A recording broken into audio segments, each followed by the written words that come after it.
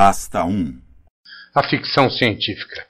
As opiniões dos ficcionistas científicos se dividem hoje entre duas posições distintas, assim como, em princípio, o real se opõe ao imaginário. De um lado, a preocupação de simplesmente adivinhar, entre aspas, o futuro, e de outro, a busca de novos modelos de sociedade, uma tentativa desesperada de recuperar o mundo a partir do caos, como afirmou M. Blanchett a respeito da obra de Hermann Hesse e que vale também como referencial à moderna ficção científica. O desenvolvimento das ciências tem sido tão impressionante que resta apenas aos defensores da primeira posição uma postura de verdadeiros adivinhos de realidades absolutamente e totalmente imprevisíveis. E é justamente a isso que se contrapõe o segmento de autores com visão social, justamente aquele mais criativo e produtivo atualmente, um reflexo claro do crescente interesse pelos altos e baixos visíveis nos gráficos da sua própria civilização, entendida como o mundo que cerca e no qual vivem esses ficcionistas. Na verdade, Nada tão simples como descrever reações, usos e costumes de horrendos ou maravilhosos homenzinhos verdes com antenas espalhadas pela cabeça, a personificação usual dos, entre aspas, marcianos. A ficção científica pode-se acreditar virtudes que vão além do pequeno mundo de imaginação e fantasia do leitor leigo, que nem sempre identifica num retrato quase fiel, em termos sociais, políticos e econômicos, as restrições de sua vida e épocas, as impossibilidades que o cercam e as dificuldades da sobrevivência digna. A partir do fundo social psicológico de uma nova proposta é que surgem, junto a outros autores críticos e até mesmo aos leitores, os antagonismos da conceituação da ficção científica, de resto, suficientemente discutível, como, por exemplo, a busca dos pontos comuns entre linguagem jornalística e linguagem literária. A que serve a ficção científica, afinal? Ela não pode ser encarada como mera decorrência do progresso científico e tecnológico e do, entre aspas, excesso de imaginação de alguns escritores, que optaram por dedicar a ela os seus trabalhos e relegada à condição idêntica de produto a um tubo de dentifrício. Daí então a posição de muitos autores que encontram na ficção científica a possibilidade de projetarem a sua visão de mundo, sua interpretação da realidade, as propostas e alternativas para uma sociedade mais próxima à ideal e justa na sua concepção. Mas, é claro, nem sempre o modelo proposto conduz exatamente a uma sociedade não conturbada, mesmo porque a visão social do autor pode chegar ao delírio do caos total, que não deixa de ser, por sua vez, um reflexo bastante real das possibilidades do mundo nos anos que correm projetadas no futuro mortalidade infantil, guerras frias ou convencionais, falta de alimentos, lucro desmesurado usufruído por minorias privilegiadas, destruição ecológica, desemprego, etc. Esse passo à frente da ficção científica, o seu enfoque psicológico e social, é uma manifestação recente. Em artigo publicado há menos de 20 anos, uh, Otto Maria Carpo reafirmava sua ojeriza pelo gênero. Abre aspas. Essa literatura de cordel fornece ao leitor comum todas as trivialidades, horrores, sentimentalismos, etc., que a literatura exclui cuidadosamente dos seus enredos, ou de sua falta de enredo. A science fiction faz questão de não tocar nunca em problemas psicológicos ou em questões sociais. Ao embarcar para o espaço, perde o contato não só com a Terra, mas também com a realidade. Capô, evidentemente, reformulou razoavelmente seus pontos de vista em relação à ficção científica à medida em que conheceu obras com outras preocupações que não a fantasia pura e simples que fogem daquilo que ele designou de literatura pseudo-religiosa, literatura de edificação do homem, que já não suporta sua solidão no universo. É certo, no entanto, que a ficção científica é livre e especulativa, não mais atrelada, rigidamente como no século passado, a postulados rigorosamente científicos na sua abordagem do futuro e do fantástico, mesmo porque a ciência cresceu geometricamente desde então. Tratando-se de artes e ciências, convenceu-se o físico Robert Oppenheimer, não há alternativa senão tornarmos-nos profetas. Assim, à medida que a ciência envereda em função do seu próprio e gradual desenvolvimento por caminhos tão aleatórios como inimagináveis, vemos-nos às voltas com uma literatura de ficção científica que não se dá muito ao trabalho de descrever os seres e suas características, o tipo de armas e roupas e a infraestrutura de comunicações e transporte do ano 3001, por exemplo, o que representaria novamente mais um conformista exercício de adivinhação. A ficção científica hoje utiliza menos o recurso de sofisticados e inescrutáveis aparelhinhos e de fantasiosas viagens interplanetárias para cada vez mais transformar-se em verdadeiro laboratório de estudos sociais, políticos e econômicos, trazendo ao leitor novas concepções de sociedade, ou então, como afirmou Gilles Lapouge, tentando levar às suas últimas consequências, a seus limites extremos, os modelos de sociedade existentes, como se estivéssemos num laboratório social onde se agisse pelo método da simulação. Pasta 2 A nave espacial. A rodovia sobre o mar, estreitas pistas brancas sobre velhas pilastras de concreto, estende-se junto às águas pouco profundas, passa pelo pequeno recife e desaparece na distância. O mar cresceu durante toda a tarde. Grandes ondas esverdeadas e oleosas atiradas pelo Atlântico espumavam contra as rochas pontiagudas. Ao meio-dia, a maré estivera baixa, atingindo apenas os bancos de coral. Agora, porém, alcançava os blocos de pedra e os prismas de concreto que formavam aquele pequeno recife. Em pouco tempo, a espuma estaria lavando o próprio leito da estrada e mesmo encobrindo-a, com o vento cada vez mais forte. Nuvens espessas como fumaça de óleo escondiam o sol crepuscular sobre o Golfo do México. O Golfo estava agitado também, avançando para Louisiana. Mas era sobre o Atlântico que o furacão rolava. Era o largo, profundo, implacável oceano que a maré e o vento atiravam em meio às trevas contra o lado do Recife em que Dan Henry lutava tenazmente o dorso maciço esborrifado de espuma. Seus olhos claros estavam vermelhos de sal e sua pele cortada profundamente em muitos lugares pelas quedas que sofrera. Fora visto a lutar no meio da espuma, esforçando-se tenazmente para salvar o que havia encontrado, algo que rolava pesadamente à beira do mar. A camisa, as cobertas dos assentos do carro, o cinto e os pedaços de corda e arame que puder encontrar foram usados para fazer um incrível cabo. Os homens que construíram a rodovia sobre o mar, aproveitando o antigo leito da estrada de ferro, haviam construído a pequena plataforma com pouco mais de 30 metros de diâmetro em que se achava. Se o objeto encalhado nas pedras tivesse ido parar em qualquer das outras ilhotas, a possibilidade de salvá-lo seria maior.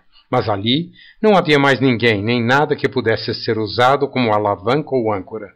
O objeto rolava e raspava contra as rodas, pesado demais para flutuar, demasiadamente volumoso para opor-se ao embate das águas encapeladas.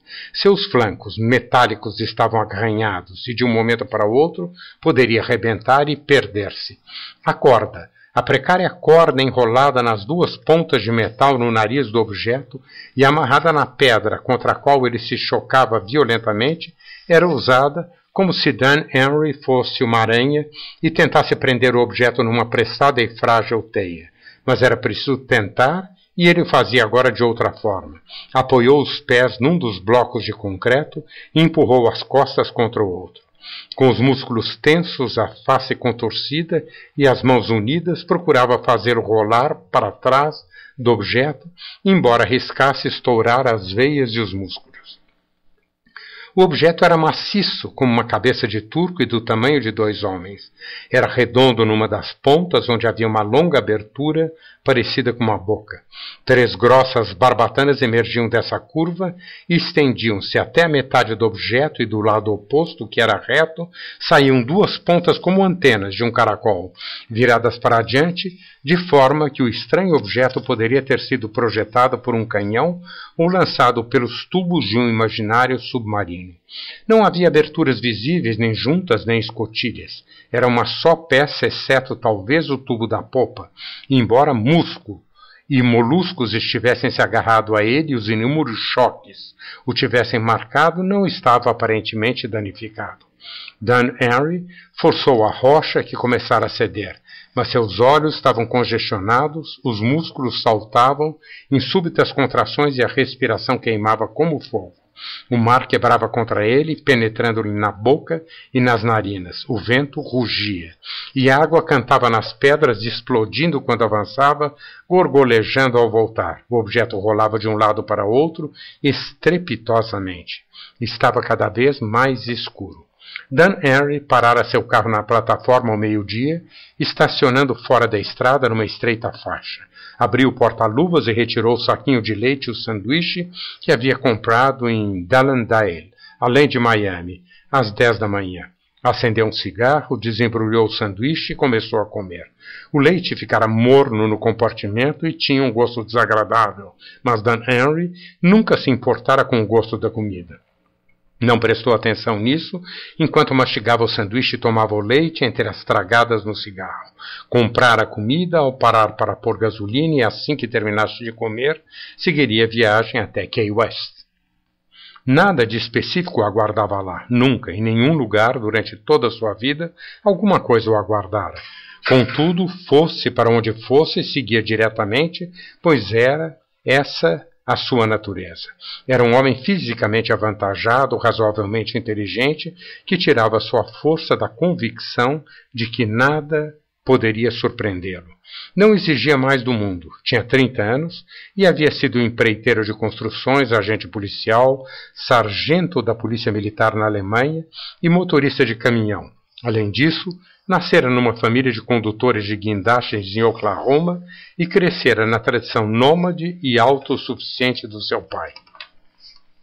Ao ver o brilho fosco do metal entre as pedras, desceu do carro para verificar do que se tratava. Já pensava na sua possível utilidade quando se aproximou do objeto. Ao alcançá-lo, a ideia dos direitos de salvamento veio-lhe naturalmente. Examinando-o, percebeu imediatamente que deveria ser um aparelho militar de alguma espécie. Sabia que a Marinha lançava constantemente foguetes de Cabo Canaveral na Flórida Central, mas quanto mais olhava para a coisa, mais duvidava dessa hipótese. O objeto era demasiado maciço demasiadamente adequado para suportar um ininterrupto castigo a que o mar o submetia, para ser um dos leves e baratos obuses que constituíam os modelos de foguetes. Devia pesar toneladas, e a camada de moluscos que o recobria era bastante espessa. Admirava-se do longo tempo que aquilo estivera flutuando no mar, vogando ao sabor das ondas até que nesta manhã a primeira grande maré o lançasse entre as pedras, onde ficara secando ao calor do sol matinal. Decididamente não sabia o que era aquilo. Foguete, torpedo ou pulso, o que quer que fosse, tratava-se de algo importante. A Marinha, o Exército, a Força Aérea haveriam de querer ficar com ele para alguma coisa, para alguma pesquisa. Não havia nenhuma marca que lhe indicasse a origem. Se alguma coisa fora gravada em seu bojo, já desaparecera. Começou a pensar em como poderia garantir seus direitos de salvamento até que pudesse encontrar algum poço da marinha. Ia para Key West unicamente porque possuía lá um amigo que trabalhava na pesca de esponjas marítimas. O amigo não o esperava, não havendo, portanto, qualquer razão para se apressar. Bastara isso para decidi-lo. Além do mais, com o avançar da tarde, o mar e o estranho objeto o aprisionaram. O objeto encontrava-se entre as pedras que marcavam o limite habitual da maré alta, mas o encontraram no período de maré baixa e, mesmo assim, a água já avançava muito acima dele. Notara isso também, mas não poderia imaginar que um furacão se desviara inesperadamente durante a noite enquanto viajava em seu velho automóvel desprovido de rádio. Somente quando as nuvens escureceram e a água começou a redemoinhar em seus joelhos, como uma matilha de cães famintos, é que observou o oceano. Afastara as pedras menores, empilhando-as de modo a cercar o objeto, e com uma alavanca de pneus raspou uma parte da camada de molúsculos. Era sua intenção deixar claro que alguém estivera trabalhando ali, podendo então sair à procura de um posto. Os carros automóveis que passavam na estrada não paravam, nem diminuíam a marcha. Não haveria mesmo razão nem lugar para estacionarem, pois o carro de Dan ocupava o único espaço disponível. Depois de algum tempo, deixaram por completo de passar. Fora isso certamente que o fizera voltar para o carro e tentar improvisar uma corda. A estrada devia ter sido interditada em virtude da tempestade. Por causa disso, não mais abandonaria o objeto. Tornara-se evidente que alguém andara lidando por ali e, se agora o abandonasse, ficaria claro demais que esse alguém se deixara vencer. Não seria mais Dan Henry se ele fosse embora. O objeto já estava quase que inteiramente encoberto pela água. As ondas chegavam mesmo a quebrar acima da sua cabeça, tentando derrubá-lo. Pior ainda, o objeto ameaçava rolar para fora do cerco de pedras. A plataforma mais próxima ficava a quase um quilômetro, embora fosse maior, também não era habitada. O mais próximo lugar habitado era Greyhound Cay. Ponto de parada dos ônibus estava fora da vista. Nesta altura já devia ter sido evacuada. Dannery estava só entre a estrada deserta e o grande mar. Apoiou novamente as costas e empurrou o bloco de concreto. Se conseguisse calçar o objeto, nem mesmo a tempestade o arrastaria. Poderia retirar a corda improvisada e recolocar a correia do radiador do carro. Enquanto iria refugiar-se em algum lugar até diminuir a tempestade. O sangue rugia em seus ouvidos e o concreto áspero rasgava-lhe a pele. Uma tosse sufocada explodiu-lhe na garganta. O bloco cedeu um pouco. Dobrou os joelhos e, com as mãos para trás, aproveitando o impulso de uma onda, empurrou novamente. O bloco escorregou e, arrastado pela onda, rolou para o meio da água. O objeto estava preso. Poderia balançar e rodar de um lado para o outro, mas não voltaria para o mar. Dan Harry deitou-se numa pedra e, satisfeito, limpou o sangue da boca com a mão. O serviço terminara. Poderia sair dali agora e esconder-se em algum lugar. Após a tempestade, poderia voltar e certificar-se de que ainda estava ali. Então, reclamaria seus direitos num dos pequenos postos ou na grande base naval e Boca Chica. De tudo, isso restaria o dinheiro no bolso. Os cortes e arranhões não seriam mais que cicatrizes. Desamarrou a corda, retirou dela a correia do radiador, deixando o resto perder-se no mar. Ao sair da água, ficou preocupado, pois não sabia se o distribuidor do carro estaria seco. Escurecera ainda mais, não completamente, pois o céu tempestuoso era estirado ao oeste pela luz avermelhada do horizonte, mas o suficiente para que seu carro fosse apenas uma grande sombra. Por fim, o distribuidor secou e os velhos faróis dianteiros se acenderam. Olhou para trás e viu um carro se aproximando. Os faróis desse último permitiram-lhe ver as nuvens de espuma que varriam a estrada e a crista branca das vagas que remontavam as pilastras e caíam verticalmente sobre a pista.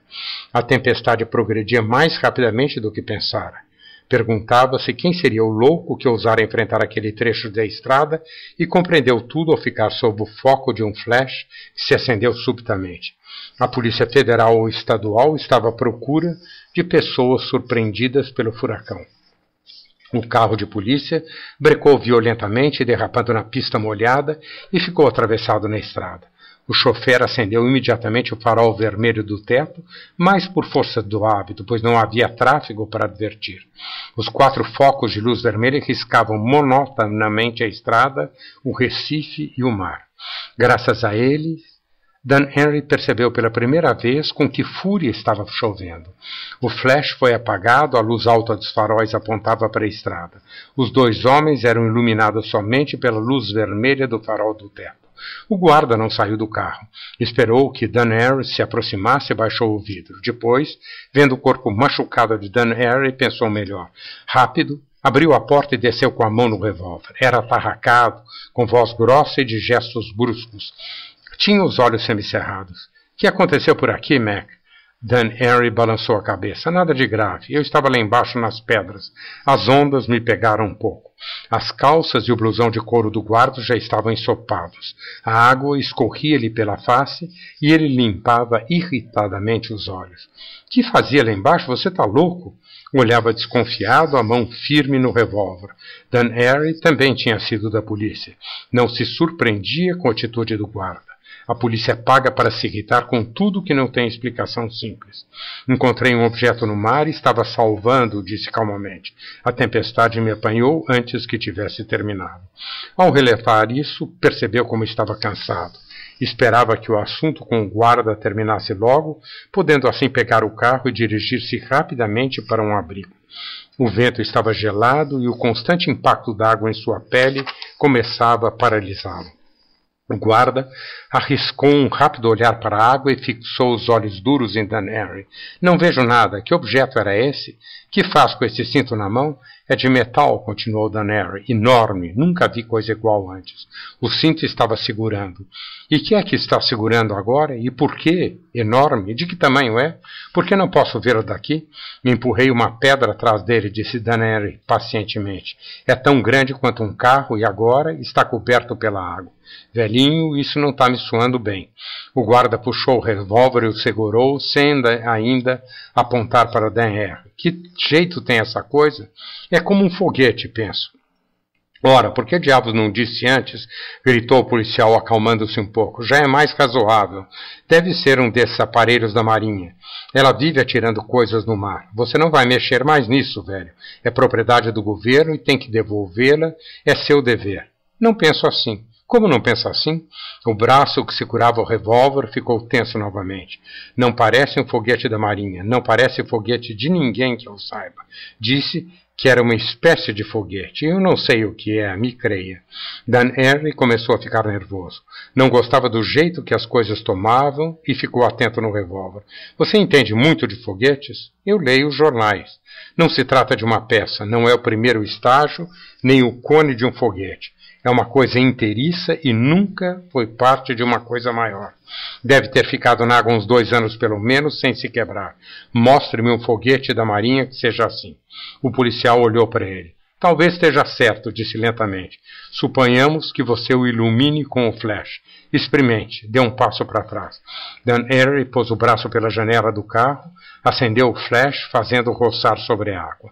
Assustou-se ao ver como as ondas haviam crescido. Sob o facho de luz, o mar era de um verde ameaçador, carregado de espuma, batido pela chuva e furiosamente vivo. Uma lufada violenta fez o carro balançar. O pálido foco de luz incidia sobre o mar, adiante do facho intermitente emitido pelo farolete do teto. As ondas desapareciam sob a chuva cerrada. Finalmente encontrou o objeto. Por um momento havia pensado que o mar o arrastara, mas ainda estava lá, preso sob as ondas, mostrando apenas a larga parte traseira, movendo-se como um animal ao impacto d'água. Lá está, disse, surpreendendo-se com o alívio que sentia. Está vendo? Sim, sim, já viu bastante, disse o guarda. Você encontrou mesmo alguma coisa. Havia uma súbita dureza em sua voz, denunciando a decisão que tomara. Meu revólver está apontado para você, velho. Afaste-se do carro devagar. Para ficar mexendo por aqui apesar do furacão é porque você está fazendo alguma coisa criminosa. Se esse negócio é um foguete da marinha, então sei que espécie de canalha você é. Cristo, murmurou Dan Harry para si mesmo. Sentiu uma raiva sutil que era quase um prazer. E não porque o tiro julgaram comuna, mas porque insistia no negócio de foguete ou sei lá o que. Virou-se de um salto. A correia em sua mão girou no ar com toda a força do seu braço e arrancou o revólver da mão do guarda. O revólver escorregou pelo asfalto molhado e Dan Henry atirou-se ao chão para apanhá-lo. Ainda deitado, apontou o cano para o estômago do guarda. Afaste-se, disse, afaste-se. Não vai tirar esse negócio de mim. Suei sangue para salvá-lo e você não vai me prender para ficar com ele. O guarda recuou cautelosamente com as mãos para cima, sem que ninguém mandasse, esperando uma oportunidade. Dan Henry fez-o caminhar até ficar longe dos carros e abriu a porta do seu. Atirou o revólver e a correia para dentro dele, bateu a porta e disse: Você o receberá de volta depois, ou se quiser, Tente tomar o de mim agora com as mãos limpas. Estava tremendo com a tensão dos músculos e tinha os braços abertos. O largo tórax afundava com o arfar dos pulmões. O facho rubro do farolete do teto banhava-o de instante a instante. Esperarei, disse o guarda. Agora, disse Dan Harry, quero usar o seu rádio. Quero que estabeleça contato e relate isso, mas deve falar primeiro com a Marinha, depois pode chamar seu posto. O guarda olhou desapontado. Você é? perguntou. Dan Henry percebeu sua confusão. O guarda pensava ter cometido um erro, mas Dan Henry não tinha tempo a perder. O vento cada vez mais forte obrigava-o a firmar as pernas. As ondas varriam a estrada com grande violência e os dois carros escorregavam perigosamente. A chuva ininterrupta metralhava a cabeça de Dan Henry e transformava o blusão de couro do policial numa massa ensopada.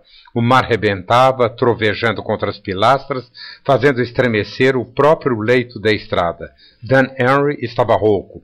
Tanto ele como o guarda, sem o perceberem, haviam elevado pouco a pouco as vozes e agora estavam gritando um para o outro.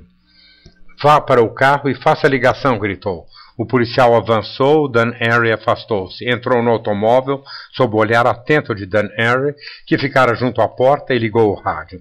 Informe-os onde estamos, disse Dan. Diga-lhe o meu nome. Daniel Morris Henry. Conta-lhe o que eu disse sobre as características do objeto e que estou reclamando direitos de salvamento. O resto, diga como quiser. Contra a vontade, o guarda moveu os ponteiros, tirando-os do ponto habitual. Em seguida, retirou o microfone do suporte e começou a chamar Bocatica, com voz obstinada. De tempo em tempo dizia câmbio e ligava o receptor. Ouviam o costumeiro crepitar de estática e nada mais. Olhe, velho, disse o policial, não vamos conseguir nenhum contato. A estação de Bocatica deve estar fora do ar. Ou então meu transmissor não funciona por causa da chuva. Virou-se para o mar. Quanto tempo ainda ficaremos aqui? Provavelmente porque já presenciara muitos furacões, começara a ficar nervoso. Tente mais uma vez, disse Dan Henry. Olhava fixamente para o guarda, mas não via nada de errado no que este fazia. Dan não conhecia a frequência de Bocatica e aí é que estava o problema. Contudo, usara muitas vezes os rádios da polícia e perceberia qualquer outra trapaça. O guarda chamou Bocatica mais cinco minutos e parou novamente. Nada. Escuta, meu chapa. Você já fez o que tinha de fazer. Talvez esteja realmente atrás do dinheiro, talvez não. Mas acontece que daqui a pouco as ondas cobrirão a estrada. Por que não saímos logo daqui? Tire o cristal desse rádio, disse Dan Henry. Não tinha escolha a fazer. Se fosse embora com o guarda, já sabia, iriam atirá-lo numa cela qualquer por resistir à prisão e atacar um policial. Deixá-lo-iam lá até quando lhes interessasse. Enquanto isso, alguém se lembraria de receber o dinheiro da marinha em seu lugar. O que devia fazer era calar o rádio do guarda e mandá-lo embora. Não estava seguro de que o rádio não funcionaria na frequência da polícia. Talvez o guarda avisasse a marinha logo depois de ter comunicado o fato a seus superiores. De qualquer forma, se tratasse ou não de um foguete, era assunto do governo. Então, talvez a marinha chegasse ali antes da polícia, ou pelo menos antes de o terem levado. Caso contrário, tudo estaria perdido. Com isso, estava decidido a ficar numa estreita plataforma no meio de um furacão do Atlântico. Dê-me o cristal, rápido!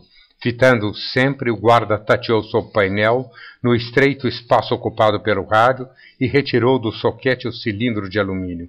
Aguardava uma oportunidade para agarrar o braço de Dan Henry. Ok, disse Dan. Atire-o na estrada e deu fora. Você o terá de volta junto com o revólver. E se tiver juízo, assim que encontrar um telefone, ligue para a Marinha. O guarda jogara o cristal que o vento fizera rolar para baixo do automóvel de Dan Henry. Dan estava para fechar a porta do carro quando um foco de luz violenta irrompeu de dentro d'água, passou pela luz vermelha do farolete e levou-se, através da chuva, através das nuvens negras, em direção às estrelas. Vem dali, murmurou o guarda. Dan Henry bateu a porta. Saia daqui, homem. Lá embaixo, entre as pedras, um arco luminoso ligava as duas hastes do nariz do objeto. A água fervilhava em volta dele, mas por mais que as ondas se agitassem, o facho de luz continuava iluminando o objeto e as pedras, tornando a água transparente. E partindo da coroa desse arco, a estreita coluna de luz violeta apontava reta, sem se difundir, como um traço riscado do inferno até o céu. Os pneus do carro de polícia derraparam no asfalto. Vou buscar ajuda, gritou o guarda nervosamente em meio ao ruído que fazia o motor do carro. Então o carro partiu. Seus faróis varriam a estrada, iluminando a chuva e a espuma das ondas. O vento fazia-o dançar de um lado para o outro enquanto o farolete do teto girava monotonamente e o som da sirene perdia-se no estrondo das vagas. Dan Harry ficou só na treva perfurada pela coluna de luz violeta. Agora que não havia um carro de polícia para protegê-lo do vento, foi empurrado violentamente até que se encostou no seu próprio carro.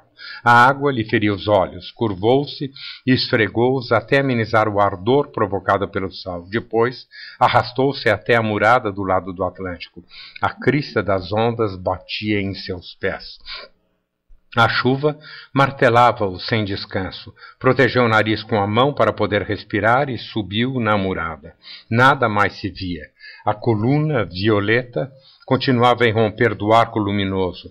O objeto emergira quase meio metro e movia-se vagarosamente como uma baleia presa num tanque. O rádio, pensou, deve ter sentido o rádio do carro. Nada mais acontecera para despertá-lo naquele exato momento. Devia ter esperado um pouco, analisando talvez o que havia encontrado, talvez estudando o facho de luz intermitente do farolete. E pela primeira vez, desde o dia anos atrás em que havia caído no oceano, encontrara motivo para emitir um sinal. Para onde? Nem para ele, nem para o guarda. A luz não estava apontada para a estrada avançava para o alto, reta, perdendo-se de vista através das nuvens. Dan tentava segui-la com os olhos, mas a chuva obrigava-o a baixar a cabeça. Não havia ninguém dentro do objeto, pensou Dan Harry. Não poderia haver. Dera várias pancadas em seu bojo, fazendo sinal, e não obtivera resposta. Além disso, o objeto estava no mar há pouco tempo, completamente fechado, raspando invólucro metálico no fundo do oceano ao impulso das correntes, rolando, girando, com apenas aquelas duas antenas para sentir o mundo à sua volta. Poderia estar equivocado, sem dúvida. Algo poderia estar vivo ali dentro, respirando, graças a um fantástico reservatório de ar, alimentando-se de pequenas rações aprovisionadas, livrando-se de alguma maneira dos restos. Não imaginava como podia ser. Não tinha lógica alguém se fechar daquele jeito sem saber quando iria escapar. Sim, ele poderia estar errado. Talvez não tivesse reagido a nada do que aconteceu na estrada. Talvez ignorasse tudo o que ocorria fora de si mesmo, obedecendo a propósitos que nada tinham a ver com esse mundo e seus habitantes. Mas fosse uma coisa ou outra, Dan Era imaginava que estaria tirando coisas sobre a terra e delas recebendo sinais. A água subiu ainda mais, cobria a plataforma, rolava sobre a estrada e ia despejar-se nas rochas do golfo. Alcançara metade da altura do seu carro. Lembrou-se do cristal do rádio. Deveria estar longe agora, voando na crista das ondas cortadas pelo vento. A boca de Dan Henry se contraiu. Agora tinha de comprar um. Por certo, não deixaram escapar tão facilmente poderiam acusá-lo de roubo e de destruir propriedade pública. Por outro lado, se fosse varrido daquela plataforma, nem mesmo precisariam pagar seu enterro. Riu sarcasticamente.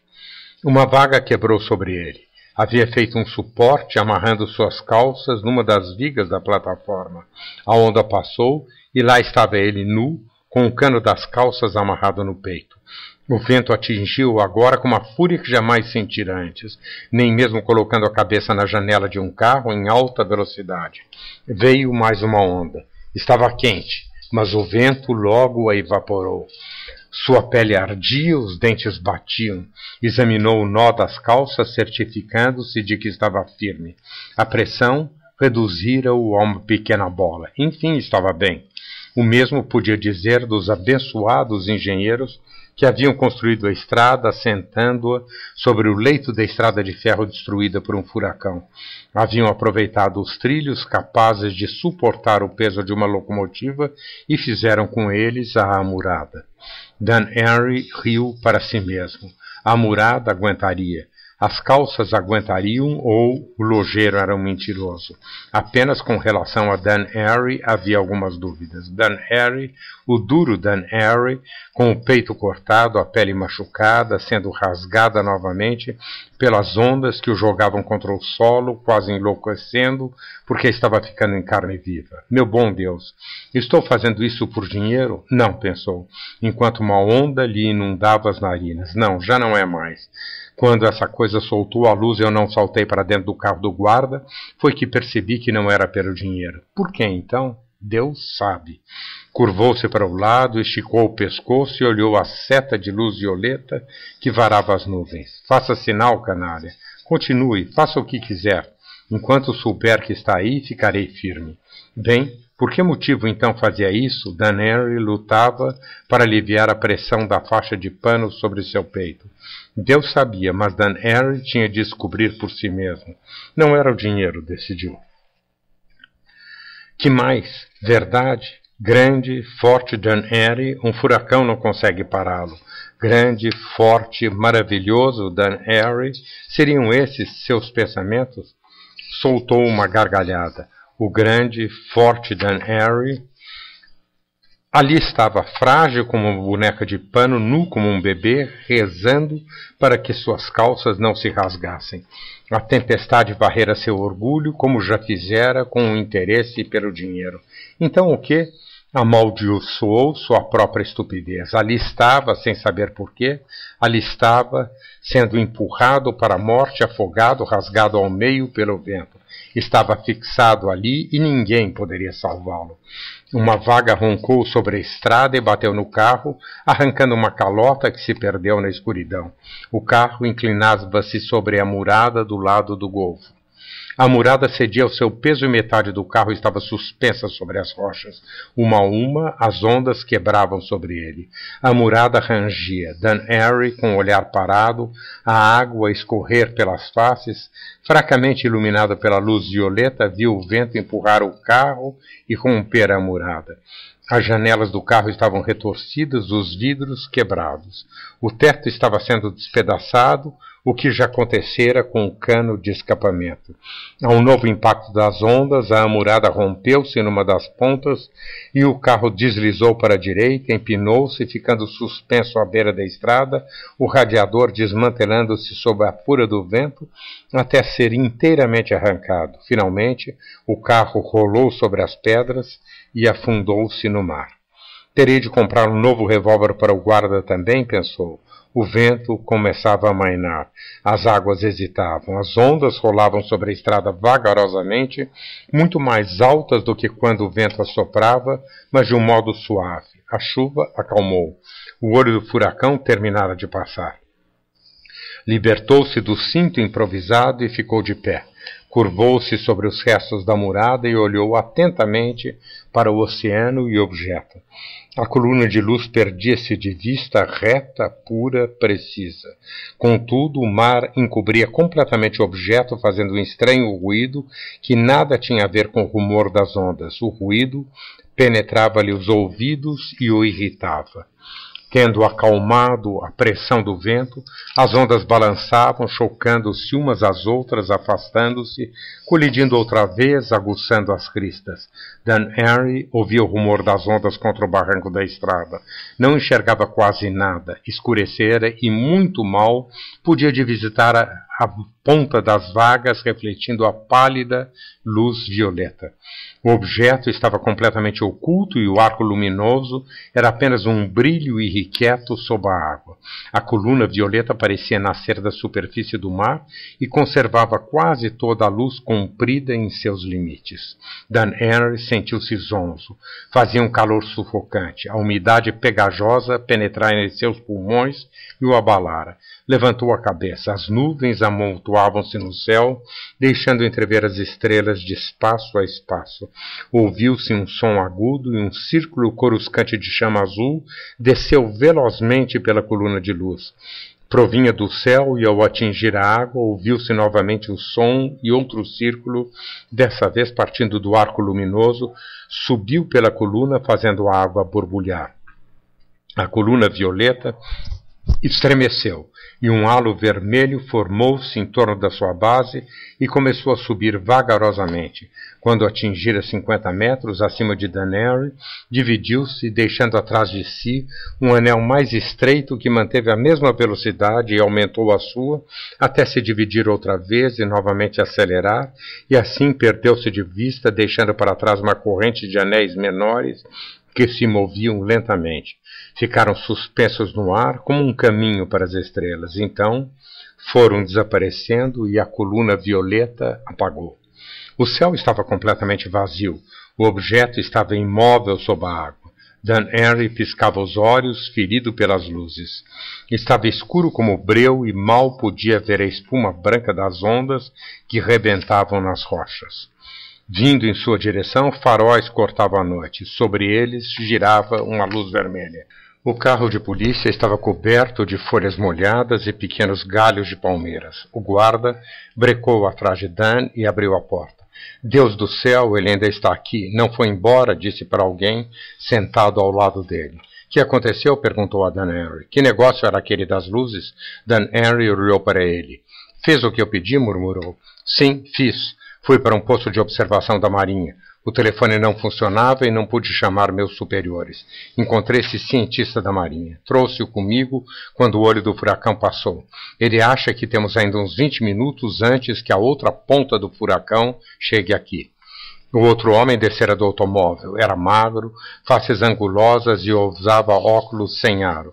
Vestia um terno de tropical barato e mal feito. Olhou para o rosto vermelho de Dan Henry e perguntou: Está bem? Sim. O homem enrugou a testa. Trabalho no posto de observação de satélites que fica ao norte daqui. O que era esse objeto? Está lá embaixo, responderam ao meu sinal. Entenderam e apagaram. Pelo menos é o que eu penso. Pensa, não é? Pois talvez esteja certo. De qualquer maneira, não dispomos de muito tempo. Comunicarei o fato para o comandante do Distrito Naval tão logo os telefones voltem a funcionar, mas gostaria de dar uma olhada nele. Poderemos perdê-lo. Não perderemos, retrucou Danner. O professor olhou fixamente. Por que está tão seguro? Eu calcei, respondeu Dan com ênfase. Quase me arrebentei, quase me afoguei para bloqueá-lo. Tomei o revólver de um guarda para poder ficar aqui e fiquei. Quase morri afogado, quase fui cortado em dois, quase fui despedaçado de tanto bater no chão e não iremos perdê-lo agora. Compreendo, disse o cientista, voltando-se para o guarda. Se tiver algum sedativo em sua caixa de socorro, é bom trazê-lo, murmurou. Devo ter, vou verificar. E acenda o seu farolete sobre o objeto, por favor, acrescentou, inclinando-se na murada, embora julgue que não veremos muito. O foco amarelado do farolete roçou pela água.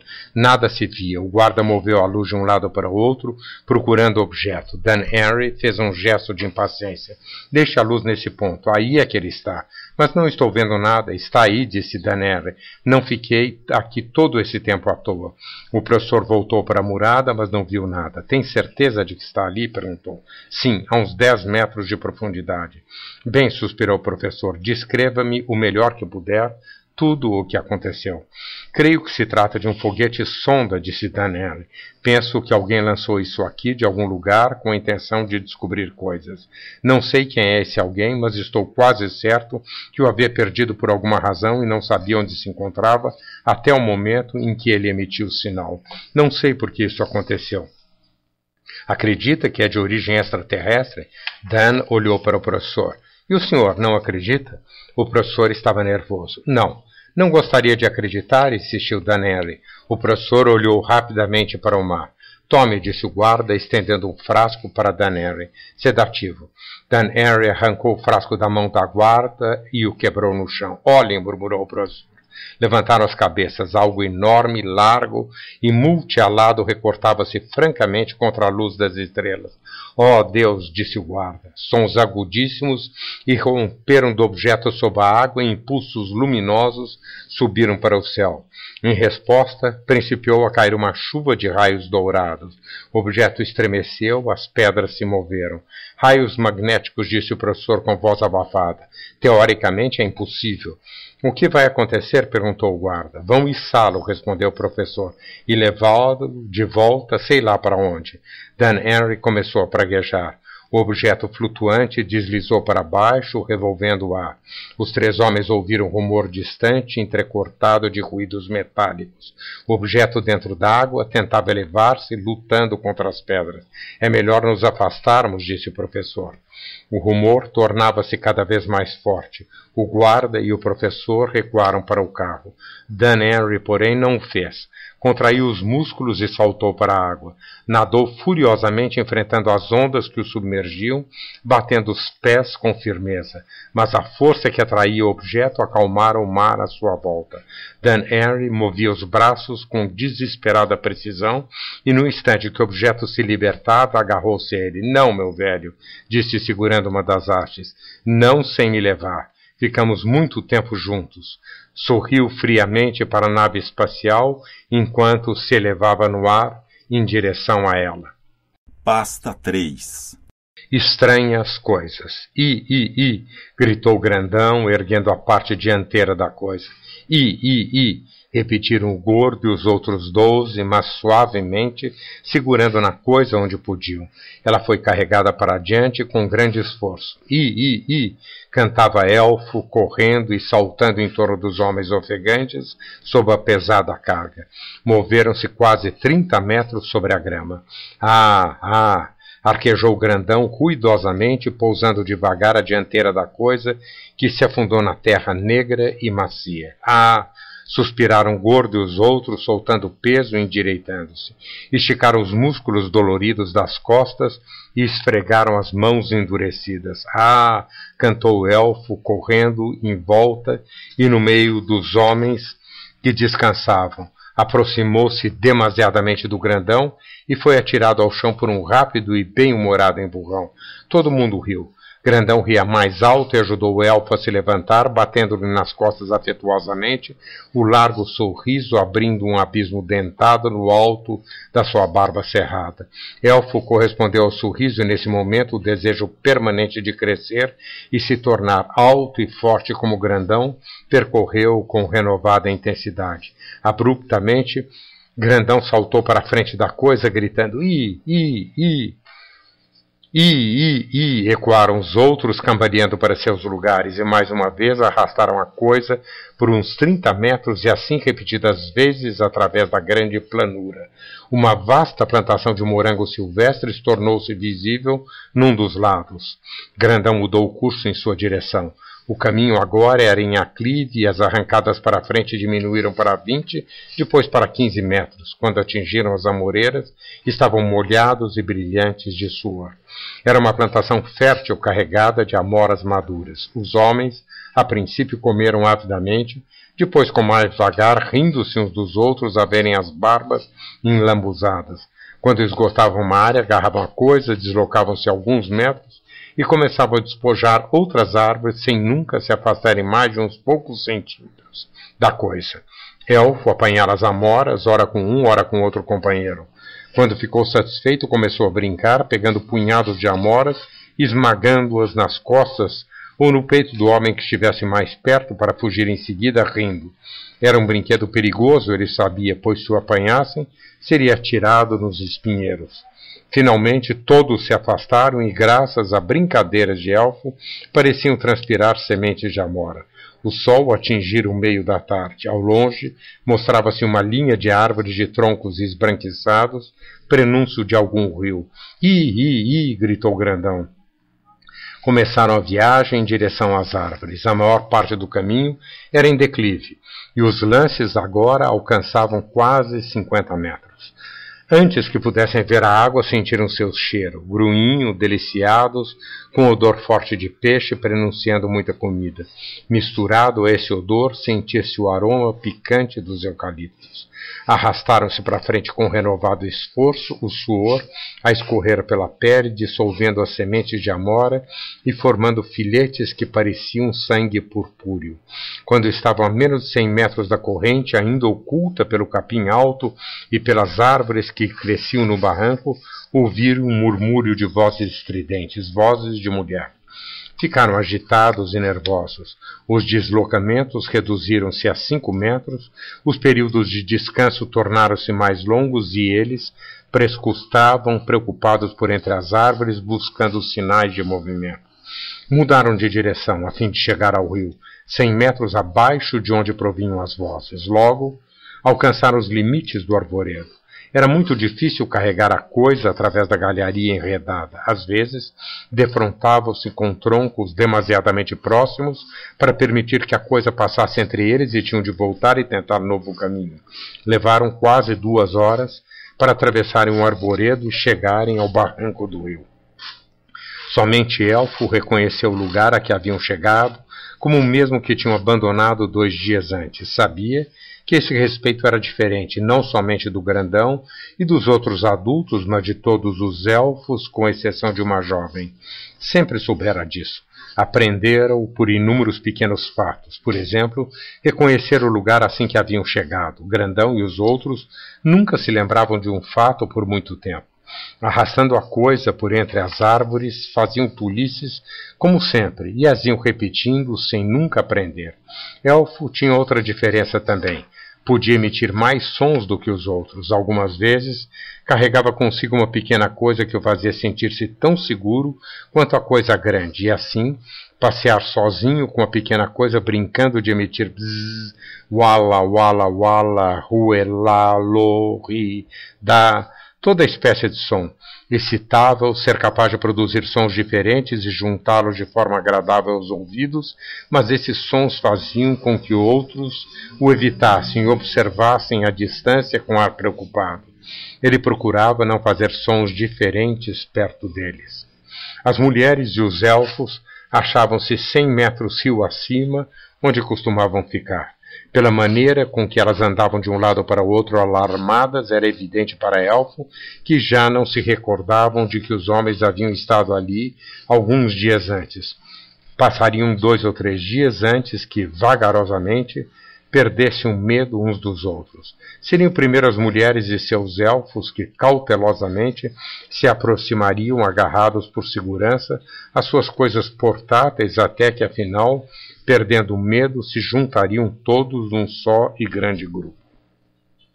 Grandão e os outros arrastaram a coisa até a margem do rio, de modo a poderem entrar na água sem se distanciarem muito dela. Tremiam e gritavam excitados enquanto se banhavam. Gordo gritou de alegria ao mostrar aos outros um peixe que se debatia em suas mãos. Mordeu, com os dentes alvos e poderosos, a água a escorrer-lhe pela barba cerrada. Sua fome aumentou. Engoliu aos poucos o peixe e começou a procurar outro. Sempre pegava dois peixes para cada um que os outros conseguissem, e por isso era gordo. Elfo também apanhou um peixe. Após comê-lo, e deitou-se na grama do barranco observando as nuvens que se avolumavam no céu azul. O sol achava-se agora perto do horizonte, semi-oculto por uma nuvem emitindo divergentes fachos de luz. As nuvens no ocidente coloriam-se vagarosamente de vermelho, laranja e verde em áreas definidas. O suave murmúrio da corrente criava fundo monótono para as vozes excitadas dos homens. De longe, Francamente, chegavam-lhe o som das mulheres e dos elfos. Aqui, junto ao chão, o cheiro da terra fértil era mais forte que o do rio. Pouco depois soprou uma leve brisa, trazendo os odores dos pinheiros distantes, dos eucaliptos recendentes e um cheiro forte de animal. Grandão e os outros saíram finalmente da água. Meio dormindo, o elfo viu-os arrastando a coisa para um lugar seco. Como se tivesse esperado apenas por isso, o sol repentinamente desapareceu no horizonte. As nuvens do lugar em que haviam estado, o sol, pareciam arder num vermelho fosco que aos poucos ia escurecendo. Uma a uma, as estrelas foram surgindo. Uma multidão de roncos irrompeu dentro da noite. Elfo caminhou entre as formas adormecidas até que encontrou o grandão e deitou-se, apoiando a cabeça em seu peito, a mão direita pousada sobre o frio e liso metal da coisa. Elfo despertou com o sol brilhante da manhã bater-lhe nos olhos. Grandão havia saído e já estava dentro do rio à procura de peixes. Alguns outros estavam consigo. Começou então a procurar uma coisa pequena. Havia muitas delas por ali, todas iguais. Examinou-as sem tocar em algumas, tocando e mesmo batendo em outras. Como eram todas iguais, era mais um problema de tato que de aparência. E somente uma parecia ser a coisa. Elfo examinou-a várias vezes. Por fim ergueu e carregou até a coisa grande, ocultando-a debaixo dela. Grandão, com gritos de alegre exuberância, subiu para barranco espirrando água, e riu para Elfo. Elfo olhou na direção das mulheres e dos outros elfos. Alguns deles caminhavam para onde se achava, cada um carregando sua coisa, todas da mesma espécie, muito semelhantes à que ele havia escolhido. Num temor súbito de que alguém pudesse roubar sua nova coisa, Elfo retirou-a do esconderijo. Tentava ocultá-la atrás de si quando alguém olhava para o selado. Eles desdenhavam a coisa individual e preferiam, como os homens, uma coisa pesada demais para uma só pessoa. À medida que o dia avançava, mulheres e elfos aproximavam-se mais, fingindo às vezes não ver os homens, e outras fugindo abertamente tomadas de pânico. Os homens nunca se afastavam mais de cinco metros da coisa, mas com a aproximação das mulheres, os homens tornavam-se mais agressivos uns com os outros. Ao meio-dia, dois deles provocaram para brigar quem quer que passasse por perto. Elfo agarrou-se pequena coisa e moveu-se rio abaixo até distanciar-se dez metros da coisa grande. Cautelosamente avançou mais alguns metros mais longe do que qualquer outro ousara ir. A princípio sentiu-se seguro, depois o pânico assaltou e correu de volta, deixando cair a pequena coisa. Encostou-se na coisa grande até que o medo passasse. Algum tempo depois procurou a pequena coisa e a apanhou. Passeou um pouco com ela, até se sentir novamente seguro. Por fim, tornou a descer o rio dez metros, vinte, trinta.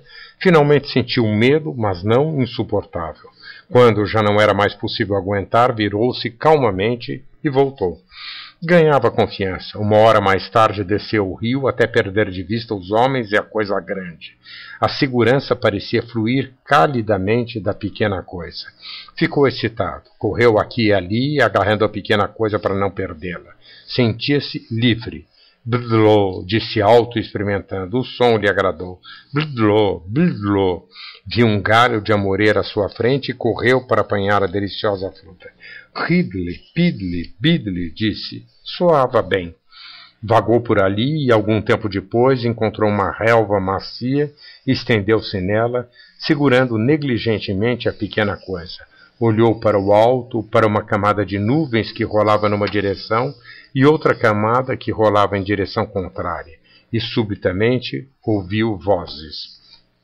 A princípio, pensou que o vento houvesse mudado de direção e trouxesse até ele as vozes dos homens.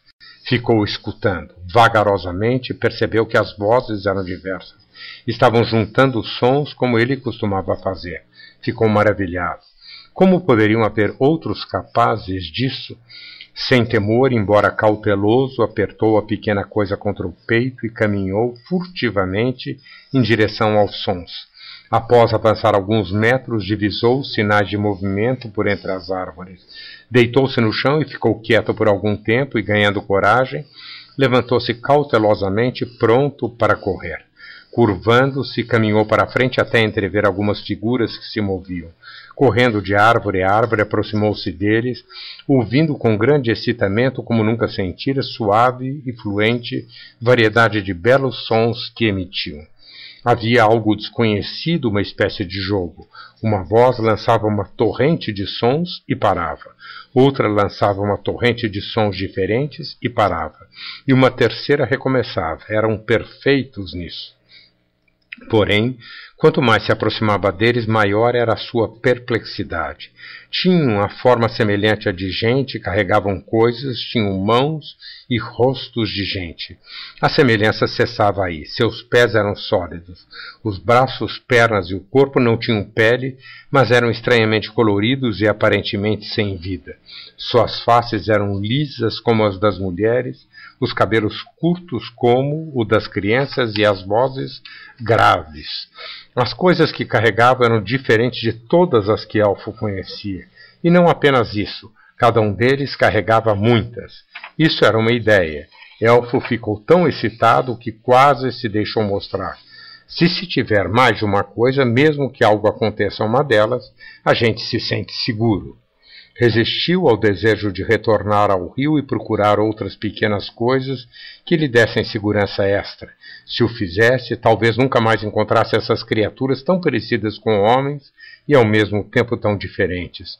Afastou então a ideia para ser usada na primeira oportunidade e seguiu as estranhas criaturas ocultando-se o melhor que podia. Em pouco tempo o elfo ouviu os gritos dos homens ao longe. Pela maneira de agir, as criaturas à sua frente também tinham ouvido. Mudaram rumo, de modo a atingir o rio a uns 60 metros ou mais, abaixo do lugar de que Elfo havia partido. Não emitiu nenhum som agora que Elfo pudesse ouvir. Como para se sentirem mais seguros, levavam diante de si, fortemente agarradas, suas coisas de estranhas formas, movendo as cabeças ora para um, ora para outro lado, à procura de algum movimento. Moviam-se com algum objetivo, um avassalador sentimento de sua espécie. As diferenças eram apenas físicas e, além disso, superficiais. Mesmo que as diferenças fossem maiores, não teria importado. Quis, subitamente, correr para eles, mas a simples ideia o atemorizou. Talvez fugissem com medo dele ao se mostrar de repente. Deveria haver uma aproximação mútua, sentiu. Acostumara-se a vê-los.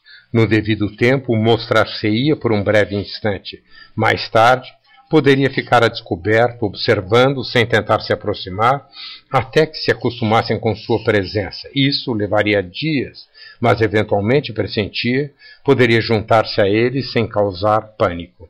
Além do mais, já acontecera se ausentar do grupo por mais de três dias e ao voltar não ser reconhecido, causando com sua presença, mesmo no grandão, espasmos de medo sem forças para se afastarem da segurança da coisa grande, incapazes de suportar aquela presença que não estavam acostumados, jogaram-se todos no chão.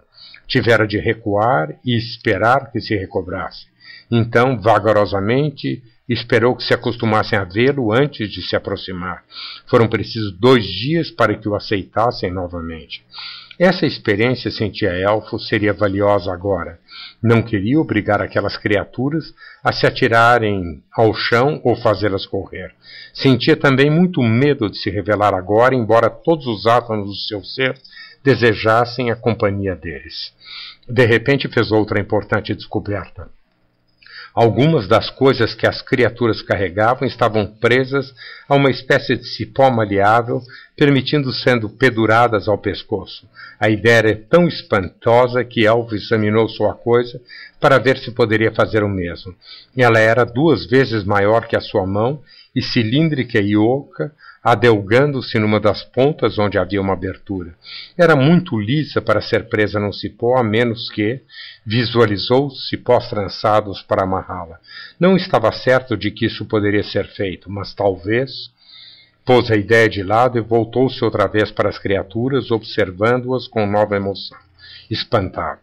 As ideias que lhe haviam surgido, só por estar observando-os, eram tão maravilhosas que o deixavam tonto. Outro pensamento o atingiu. Rejeitou-o imediatamente como fantástico, mas não adiantou.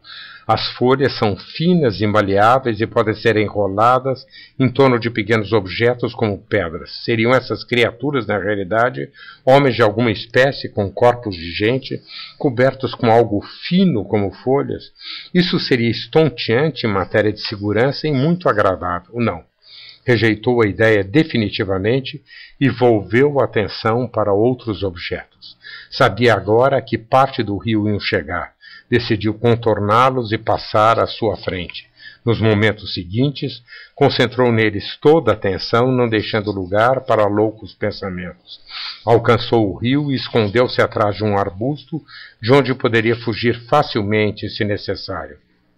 Apertou a coisa com força e aguardou.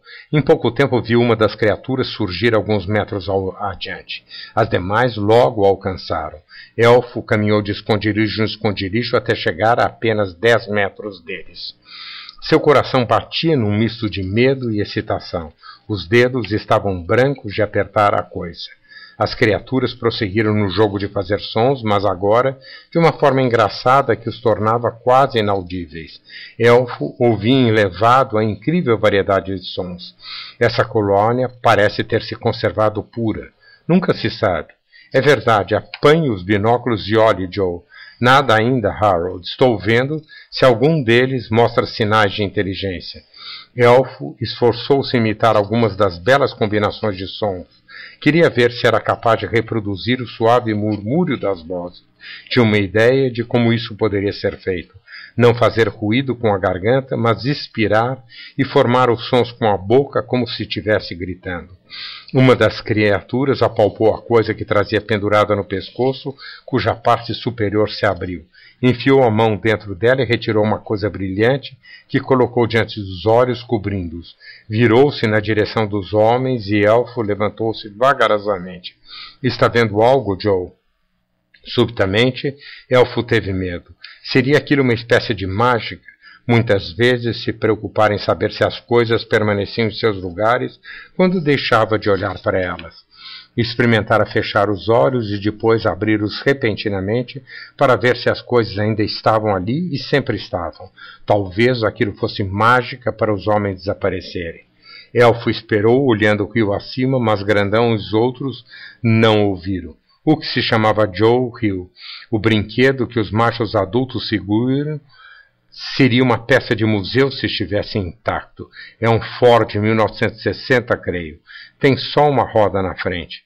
A atenção de Elfo voltou-se para trás.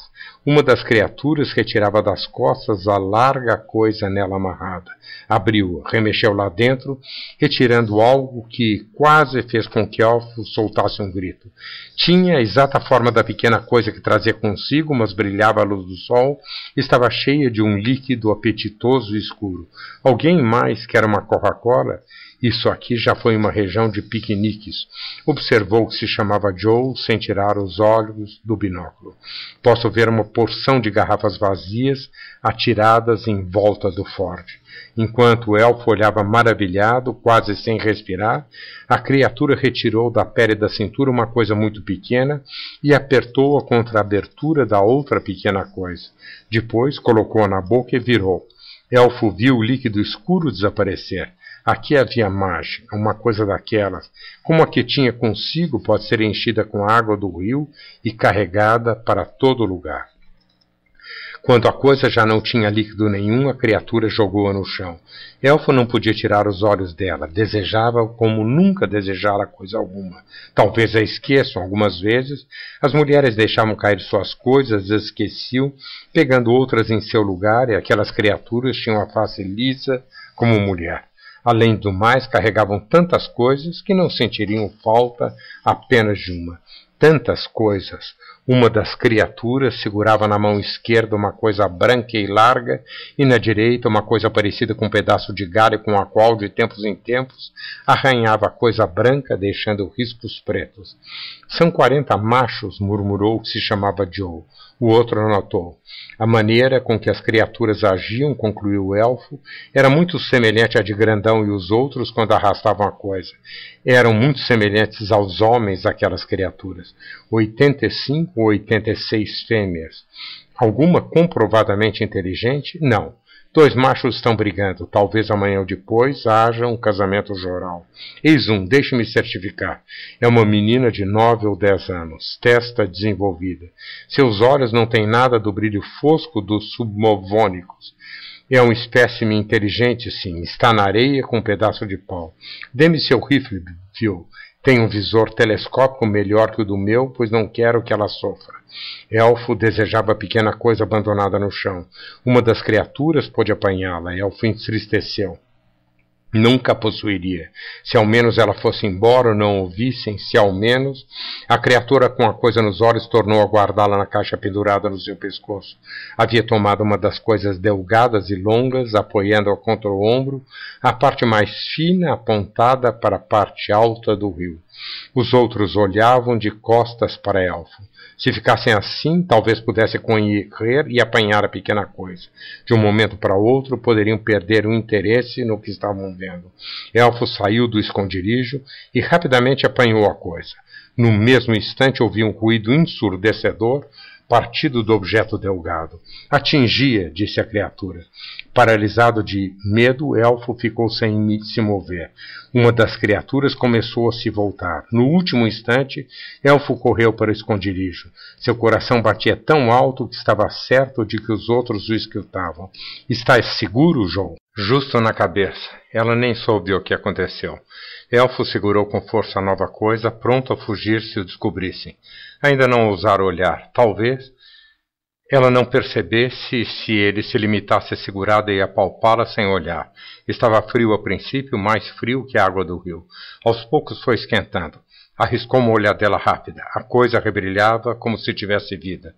Uma segurança como nunca sentira cresceu dentro dele. A outra, cheia de barro seco e machucada pelas fortes enxurradas do rio nas enchentes, jazia esquecida a seus pés. Bem, com isso terminamos esta ronda. Elfo não prestava muita atenção às vozes agora, profundamente envolvido em novas sensações. Sim, e foi puxada. 22 colônias, três com mais de 10 anos, 14 não contaminadas, sete com apenas um ou dois espécimes inteligentes para matar, uma tão contaminada que precisava ser completamente eliminada e uma renegada. As renegadas estão diminuindo de ano para ano. Em 10 ou 20 anos estarão extintas. Então, não nascerão mais espécies inteligentes nas colônias. Vamos embora. Dentro de uma hora ou duas escurecerá. As criaturas esconderam algumas das suas coisas embaixo da pele e nas caixas que carregavam. Pressentia-se que iam partir. Elfo esperou que se movessem de volta ao lugar de onde haviam saído e então seguiu-os de uma distância segura. Não sabia se deveria mostrar-se agora ou esperar. O sol estava desaparecendo. Não demoraria muito em ceder lugar à noite. Esperaria até o amanhecer antes de deixar que o vissem pela primeira vez. Riu-se consigo mesmo. Tinha muito tempo. Amanhã, depois, nunca mais voltarei para Grandão e os outros. Homens ou não, juntar-se-ia aquelas desconhecidas e maravilhosas criaturas. Elas eram da sua espécie.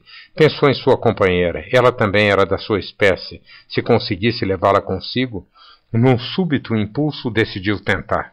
As criaturas retornavam pelo mesmo caminho que haviam feito. Correndo, e se elas se apressassem em vir também, alcançariam as criaturas antes que estivessem muito longe.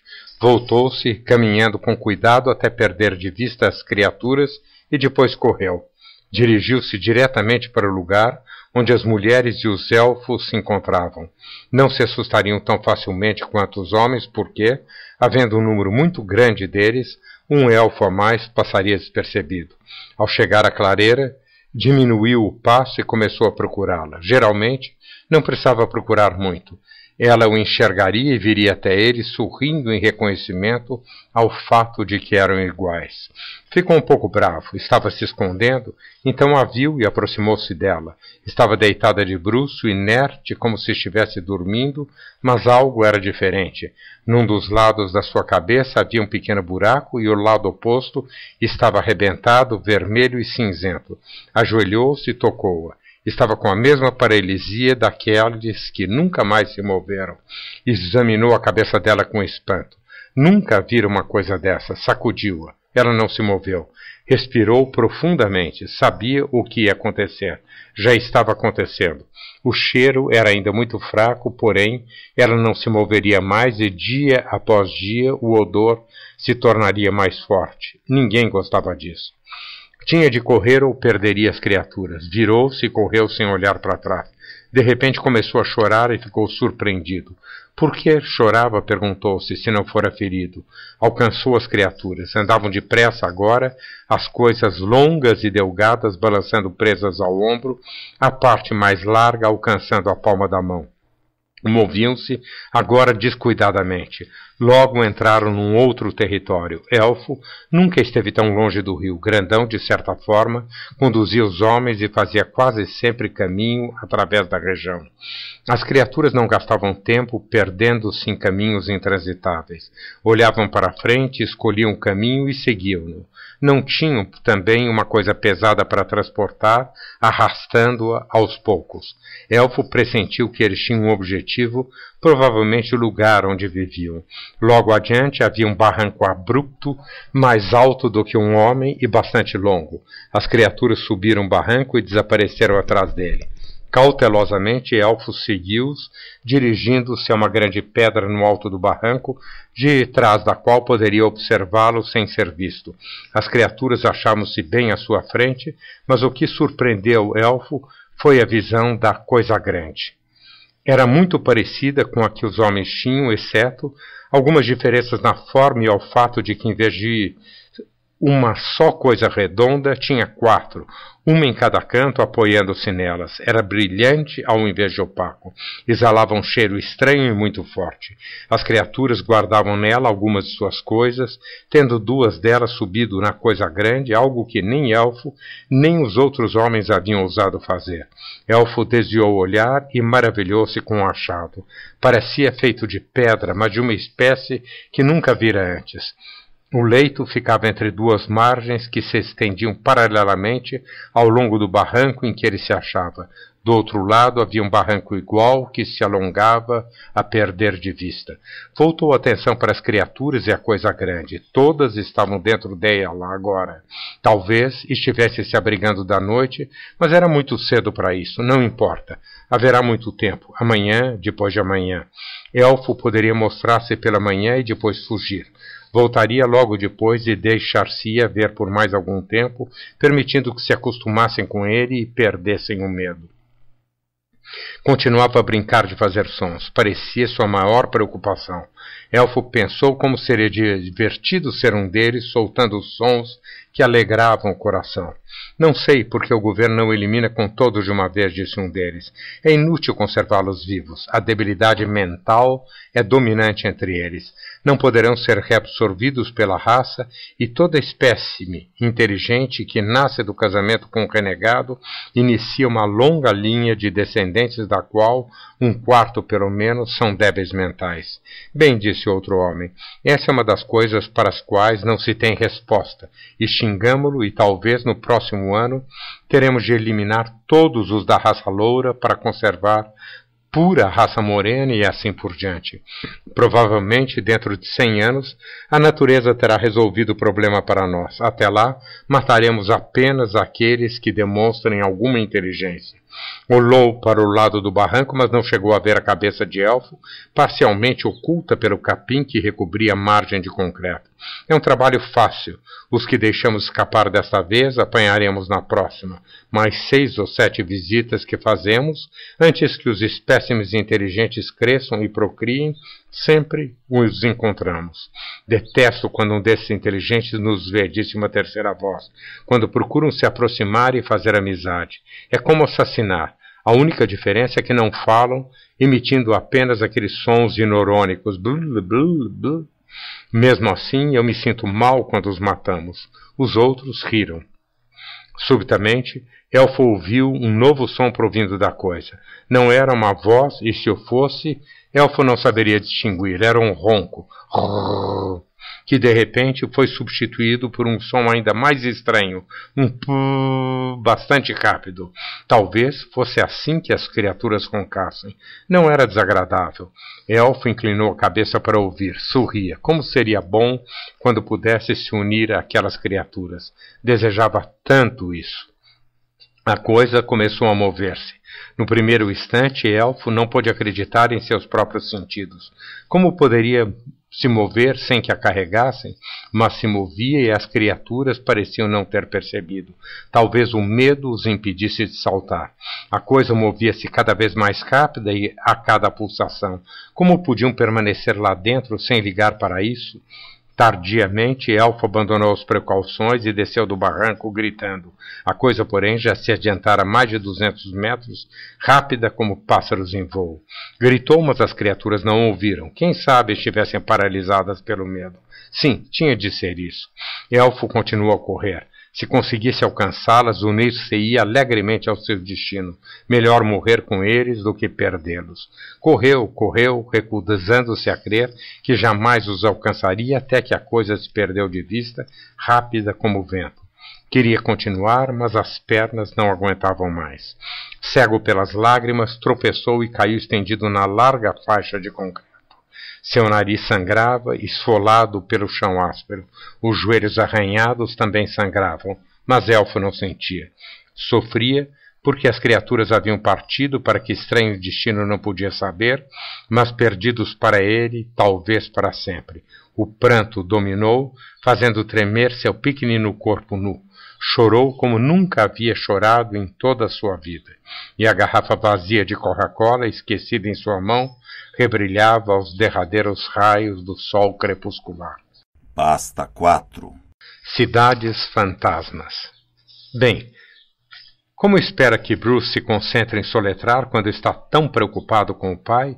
Perguntei por entre meus papéis de arte, esperando fugir um pouco do prosaico.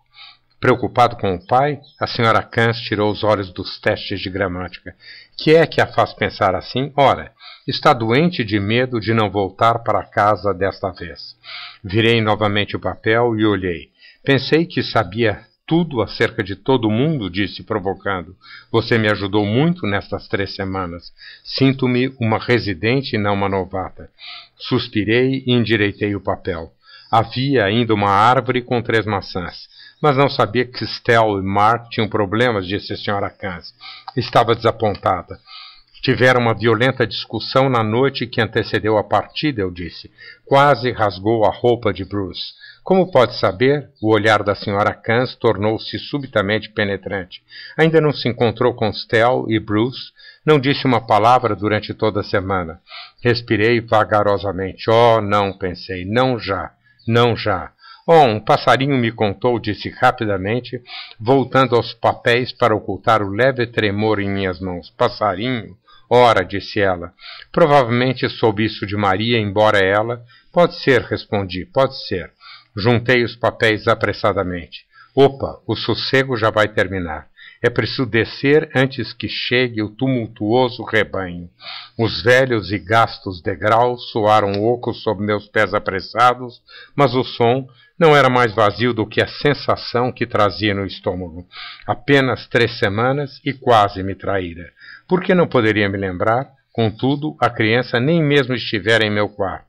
Não que me preocupasse em saber coisas a seu respeito, apenas porque se curvara tão quietamente, tão longamente sobre o livro de literatura no domingo passado, e bastou que eu olhasse um pouco, ao pé da escada, fui engolfado até a cintura pelo bando de crianças que vinha do playground. Prazerosamente deixei-me arrastar por eles até a sala de aula. Nessa tarde, recostei-me no parapeito da janela e fiquei de olhar a classe sossegada, Bem, quieta na aparência, pois cada criança murmurava audível ou inaudivelmente, com os incansáveis dínamos da juventude, os pensamentos quase sempre inarticulados das crianças felizes. Todos menos Lucine, minha aluna de doze anos, cujo murmurar acendia e se interrompia bruscamente. Havia uma falha em alguma parte que seus olhos parados e vazios denunciavam. Suspirei e me virei de costas para a classe, passeando o olhar pela encosta da Black Mesa, que se erguia qual uma torre acima da escola, tentando libertar-me da apreensão, tentando esquecer o porquê havia fugido procurando esquecer as coisas que ameaçavam minha raça coisas que poderiam me desligar da realidade e me desgovernar. Desgovernar-me? Ó oh, céus! Libertar-me! Enfiei os dedos através da tela de arame que protegia a base da janela e raspei com força. Velhas unhas rilharam, o velho metal cedeu e, através da seca, ácida exalação da poeira antiga, espirrei. Sentei-me à minha mesa, procurei um lenço de papel espirrei novamente, tentando ignorar mas sentindo perfeitamente os pesados golpes e avanços dentro de mim. A frágil, quase traição havia rompido minha apertada amargura protetora. Tudo que havia afastado tão resolutamente tornava a abrir caminho. Mudei de lição, de soletrar para números de forma tão brusca que Lucine ficou hesitando à beira das lágrimas até perceber vagamente onde estávamos e despertar.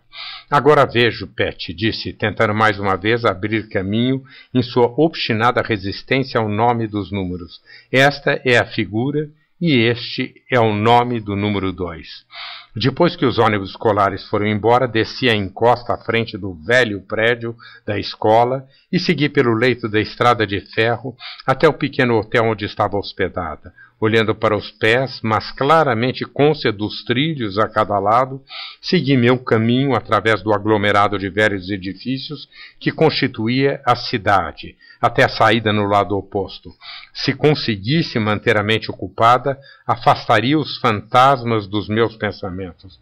Parei alguns momentos no hotel para deixar minhas coisas e depois segui a linha única que descia pelo vale sobre o velho e abalado leito de há muito abandonado. Desviei-me nos ramais vazios e subi o monte, gozando violentamente o obrigatório esforço de arrastar e galgar, que forçava meus músculos, apressava meu coração e fazia o ar bater no alto da minha garganta. Arquejando, agarrei um galho de manzanita e puxei-me para cima no alto da encosta. Sentei-me com os joelhos apertados contra o peito, no chão arenoso da base da enorme chaminé de tijolos, os braços em torno das pernas, o rosto encostado nos joelhos. Fiquei com os olhos fechados, deixando o sol crepuscular impregnar-me. Se ao menos isso fosse tudo, pensei ansiosamente. Se tudo se resumisse em ficar sentado ao sol, embebendo-me de calor. Apenas existe e nada mais, e por um longo, agradável momento deixei que isso fosse tudo. Mas não podia evitá-lo mais. Senti o primeiro e vagaroso arrepio através da quebra em minha armadura. Contei árvores, contei postes telefônicos, multipliquei números até que me surpreendi pensando que seis vezes nove é noventa e seis, e então desisti, deixei a corrente fluir livremente. É sempre assim, gritou uma de mim para as demais. Você prometeu, prometeu e agora está cedendo novamente, depois de tanto tempo. Poderia ter prometido não respirar também, respondi, mas isso é loucura e você sabe que é. Qualquer um sabe, loucura ou não, sou eu, gritei silenciosamente. Sou eu, sou eu. Pare de discutir, disse outra de mim. É sério demais para discussões. Temos problemas. Peguei um galho seco de manzanita e limpei um pequeno pedaço do solo pedregoso, arrancando um velho prego quadrado e um caco de vidro amarelo. Passando o galho para outra mão, limpei a ferrugem do prego com o meu polegar. Estava comido de ferrugem, mas ainda era forte e pesado. Imaginei que coisa teria ele pregado e se a mão que por último segurou estaria coberta de terra agora ou se, fosse quem fosse, teria sustentado. Com reprimida violência, tirei fora o galho e, dobrando-me para frente, fiz uma marca com um prego no chão limpo. Era um lúgubre e familiar jogo, tantas vezes feito por mim e automaticamente caí nele. Item 1. Estava realmente louco ou ficando louco, ou a caminho de ficar louca? Devia ser assim. Outras pessoas não veem sons, nem sentem o gosto das cores, nem o pulsar das emoções alheias, nem o peso da carne como uma roupa áspera. Porém, defendia-me. Ainda frequento a sociedade e não espumo pela boca. Não ajo como louca e me conservo atenta, não falo como louca. Considerei o item algum tempo e escrevi no chão. Acho que ainda sou normal. Logo, item 2. Então o que está errado comigo? Deixo-me dominar pela imaginação. Fiz vários buracos em torno da segunda marca. Não, era alguma coisa mais, alguma coisa além. O que? Fiz outra linha sobre a marca formando um X. Que posso fazer então? Devo lutar contra isso como antes? Devo negar? Negar? E negar até senti-me gelar de terror, recordando o pânico cego que me fez fugir até chegar finalmente a Kruper, e não pude mais reprimir o riso que rompeu do fundo da minha alma. Apaguei as duas marcas e novamente escondi meu rosto entre os joelhos e esperei a doentia torrente de apreensão rebentar em desespero dentro da minha cabeça. Sempre chega a isso. Desejo fazer alguma coisa? Deverei impedir isso com um ato de vontade? Poderia impedir? Levantei-me e dei a volta em torno da chaminé gigantesca à procura da entrada. Meus pés gritavam: Não, não! no pedregulho escorregadio. A respiração ofegante gritava: Não, não! Enquanto eu resvalava pelo monte escarpado. Penetrei no sombrio interior da chaminé e apertei-me contra os tijolos negros e gastos, todos os músculos tensos gritando: Não, não! E no silêncio, estremecido pelo vento, exclamei: Não! Ouvindo a palavra ecoar sobre mim na escuridão. Era como se o mundo saltasse pelo pálido disco do céu no topo da chaminé. E seria capaz, gritei desafiante dentro de mim mesmo. Não fosse o medo e seria capaz de acompanhar essa palavra e atirar-me para o céu qual uma vela romana e nunca, nunca mais sentir o peso do mundo. Mas as poderosas tenazes da razão agarraram meus braços e pernas e violentamente esfregaram meu rosto nas coisas como elas são. Solucei impotente junto ao áspero, côncavo muro. Lágrimas salgadas, riscando-me as faces, abrandaram a revolta. Chorando, gemendo junto a uma velha e suja parede, por causa de um sonho, bela situação para uma conceituada pedagogia. Esfreguei as faces com o lenço e ri ao ver a fuligem que saiu. Seria melhor voltar para o hotel e lavar o rosto antes de comer a inevitável sopa de alho, cujo cheiro sentir ao sair. Emergi para a rubra torrente do crepúsculo e desci por um caminho que não vira ao subir. Corri até a penumbra das paineiras, ao longo do arroio no sopé do monte. Aqui, onde ninguém poderia ver, nenhuma língua comentar, tão vergonhoso comportamento, eu lancei-me em cega, precipitada corrida, julgando poder fugir para longe para longe, talvez com muitas lágrimas e uma corrida suficientemente rápida pudesse conquistar uma noite sem pesadelos. Contornei o ponto em que o penhasco avermelhado cortava o caminho e estalei-me sob uma súbita pancada. Havia me chocado com alguém. Antes que pudesse ver alguma coisa, fui agarrada e posta de pé. Antes que pudesse ver, através das lágrimas que o nariz machucado me fazia derramar, estava novamente só na sombra crepuscular. Esfreguei suavemente o nariz. Bem, disse em voz alta, é uma forma de expulsar a loucura. Mas imediatamente comecei a pensar se falar sozinho em voz alta não era sintoma de desequilíbrio. Quando saí da sombra das árvores, olhei para trás. A chaminé negra e ereta contra o céu maciça sobre a ruína dos barracões, era bela. Parei um momento para desfrutá-la. Repentinamente, outra sombra. Alguém contornara a chaminé e sua silhueta recortava-se contra o horizonte resplandecente. Temi que o meu grito de dor ainda ressoasse entre as paredes da chaminé e me afastei envergonhado. Quem quer que lá estivesse seria bastante sensato para não se preocupar em ficar ouvindo lamentos de mágoas antigas. A despeito da crise sofrida à tarde, insinuei-me levemente sob a pele fina do sono, por horas sem fim, tateei inutilmente por algo que me lançasse em completo esquecimento. Então, desesperada, senti os golpes já familiares. Inexorável, avidamente precipitei-me no sonho que há tanto tempo procurava evitar. Não há palavras, não há palavras para descrever o meu sonho, apenas o brotar da alegria, a expansão de minha alma, a infinita liberdade, a cálida entrega. Agarrei-me a esse bem-estar tão fortemente, ó, tão fortemente, sabendo que iria despertar. E assim aconteceu, esmagando-me, empurrando-me para a carne, pregando-me a terra como chumbo, expulsando-me da alegria, limitando novamente minha alma, cruzando barras em meu céu, fazendo-me encalhar na umidade transparente da manhã, tão sozinha que o esforço de abrir os olhos era quase insuportável. Rígida, sob o peso das cobertas, analisei os pedaços de meu sonho um por um e depois juntei, comprimindo-os num único bloco, enviando-os de volta ao subconsciente. Fiquem aí, fiquem aí, supliquei. Ó, oh, fiquem aí. Forçando-me a comer, fui cautelosamente para a sala de jantar do hotel. Como a única mulher feminina no hotel, ficava um tanto desconcertada ao atravessar a sala repleta, quando bocas e mãos paravam, até que alcançasse o único lugar vazio, ouvindo então, como num teatro, reiniciarem, a uma só vez, a mastigação. Nessa manhã, porém, havia-me atrasado e a sala estava quase vazia.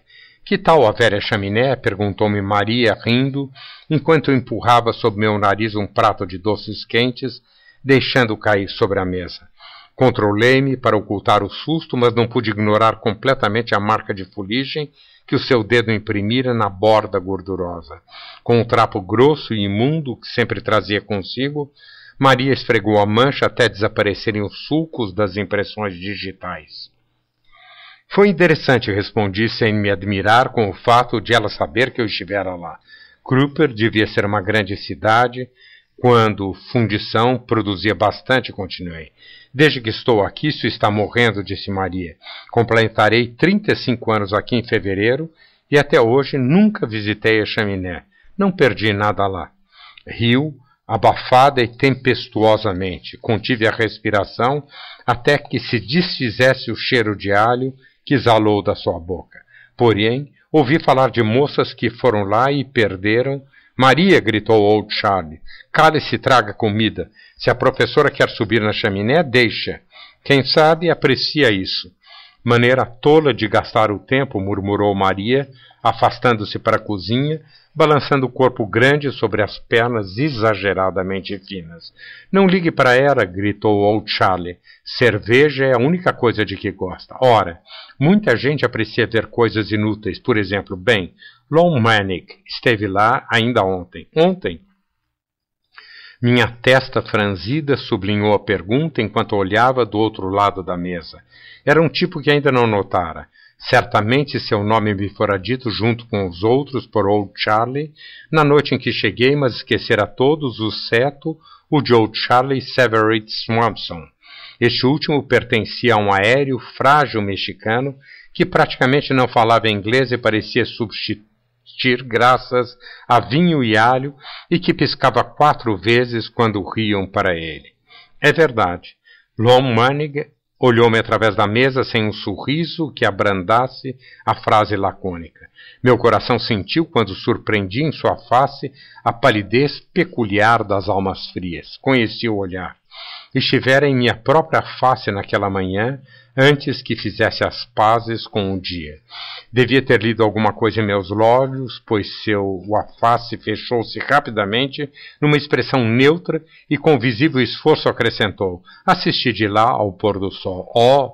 Pensativamente passei a mão pelo nariz. Pôr do sol, Maria entrou com um líquido duvidoso que chamava de café. Mais tolices! Por que jogar o tempo fora? E você? Como gasta o tempo, a voz de Longmanig era muito suave. A mente de Maria disparou como um pássaro assustado. Esperando a morte, gritou para si mesma. Cerveja, respondeu, sorrindo com o canto dos lábios. Quatro cervejas equivalem a um pôr do sol. Colocou a cafeteira sobre a mesa e voltou para a cozinha, deixando uma clara, aguda, quase visível dor atrás de si. Vocês dois deveriam juntar-se, trovejou Old Charlie. Gostam das mesmas coisas. Lowell conhece mais depósitos de lixo que qualquer outra pessoa. Coleciona cidades fantasmas. Gosto de cidades mortas, disse para Charlie, tentando preencher um enorme vácuo que se abrira na conversa. Tenho uma verdadeira coleção delas. Veja, Lowell, rugiu Old Charlie. Eis sua oportunidade de acompanhar por aí uma bela professora. Juntos serão capazes de conseguir uma tempestade para a coleção. Parou de gracejar, tomou um último gole de café e saiu da sala, cantando alto uma canção azul. Estávamos completamente sós na grande sala de jantar. A luz matutina resbalava no soalho polido, chocava-se contra as velhas cadeiras e infiltrava-se no grande espelho emoldurado sobre o buffet, irradiando-se dele para o olhado que recobria a mesa enorme. O silêncio cresceu, cresceu até que depus meu garfo, temendo batê-lo contra o prato novamente. Fiquei sentada meio minuto, atônita, sentindo o profundo pulsar que aos poucos se tornava quase audível. Juntos, juntos, juntos. O impulso quebrou-se contra a aresta da desolação que me invadiu. Cambelei as cegas para fora da sala. Não. Parei ofegante junto ao pilar da escada, não involuntariamente, não tão cedo assim. Com esforço, concentrei-me. Pare com essa tolice, disse a mim mesma. Você está tão louca que poderá enlouquecer os outros. Resolutamente comecei a subir, parando apenas no meio da escada. Não era minha desolação, exclamei silenciosamente. Era a dele que eu estava sentindo. Que estranho, pensei, ao despertar às duas horas, lembrando-me da desolação. Que estranho, pensei ao despertar às três novamente, lembrando-me do apelo. Juntos, que estranho, pensei, quando acordei às sete da manhã e levantei-me com a cabeça pesada. Esquecera-se completamente da fisionomia de Lon Manning, mas conservava maravilhosamente na consciência a imagem mais nítida que em três dimensões. A escola manteve-me durante a semana toda o bastante atarefada para que a antiga mágoa fosse profundamente enterrada e quase esquecida. A calma não foi perturbada até a quarta-feira, quando a inquietação irrompeu por duas vezes no playground. Na primeira, tive de correr, apartar esperança de Joseph, abrindo-lhe os dedos que agarravam os cabelos dele, a fim de que pudesse libertar o rosto esmagado contra o chão. Esperança não tinha nada da fragilidade e leveza de Severate, seu tio, enquanto com ar provocador limpava o pó de suas pesadas tranças negras. Me chamou de mexicana, gritou ela. E daí? Sou mexicana e me orgulho disso. E espanco novamente se tornar a me chamar de mexicana como se fosse uma coisa má. Orgulho-me Naturalmente que se orgulha, disse, ajudando-a a se limpar. Deus nos fez a todos. Que importam nomes? Joseph, perguntei, virando-me rapidamente. Você é uma menina? Um pestanejou com o rosto coberto de poeira e respondeu indignado. Claro que não. Eu sou um menino. Joseph é um menino. Joseph é um menino. Cantarolei. E depois ri. Vê como é tolo? Somos o que somos. Que bobagem provocar os outros por uma coisa dessas. Vão se lavar.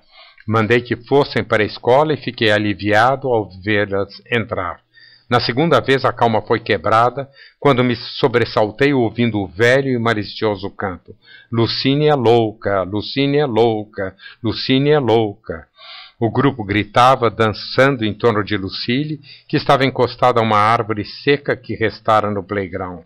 Tinha os olhos parados e vazios, a boca entreaberta. Seus músculos, porém, se retesavam e chispas cruzavam o vazio de seus olhos. Lucine, gritei, o medo empurrando meus pés. Lucine! Meu espírito antecipou-se a mim e envolveu a pesada e enfurecida solidez da sua mente. Mal consegui acalmá-la o tempo necessário para chegar até ela. Parem, gritei para as crianças. Vão-se embora, rápido. Minha voz ressoou e o grupo se desfez em assustados indivíduos. Tomei as mãos de Lucille e, num momento de grande tensão, eu as apertei. Então ela gritou, um grito de animal, e com um movimento de braço atirou-me para o ar. Com fúria selvagem, eu fui submergida, quase que fisicamente, no delírio irracional do seu ódio e estupefação. Perdi-me no labirinto dos pensamentos loucos, dos tenebrosos becos sem saída, e até hoje não consigo me lembrar do que realmente aconteceu.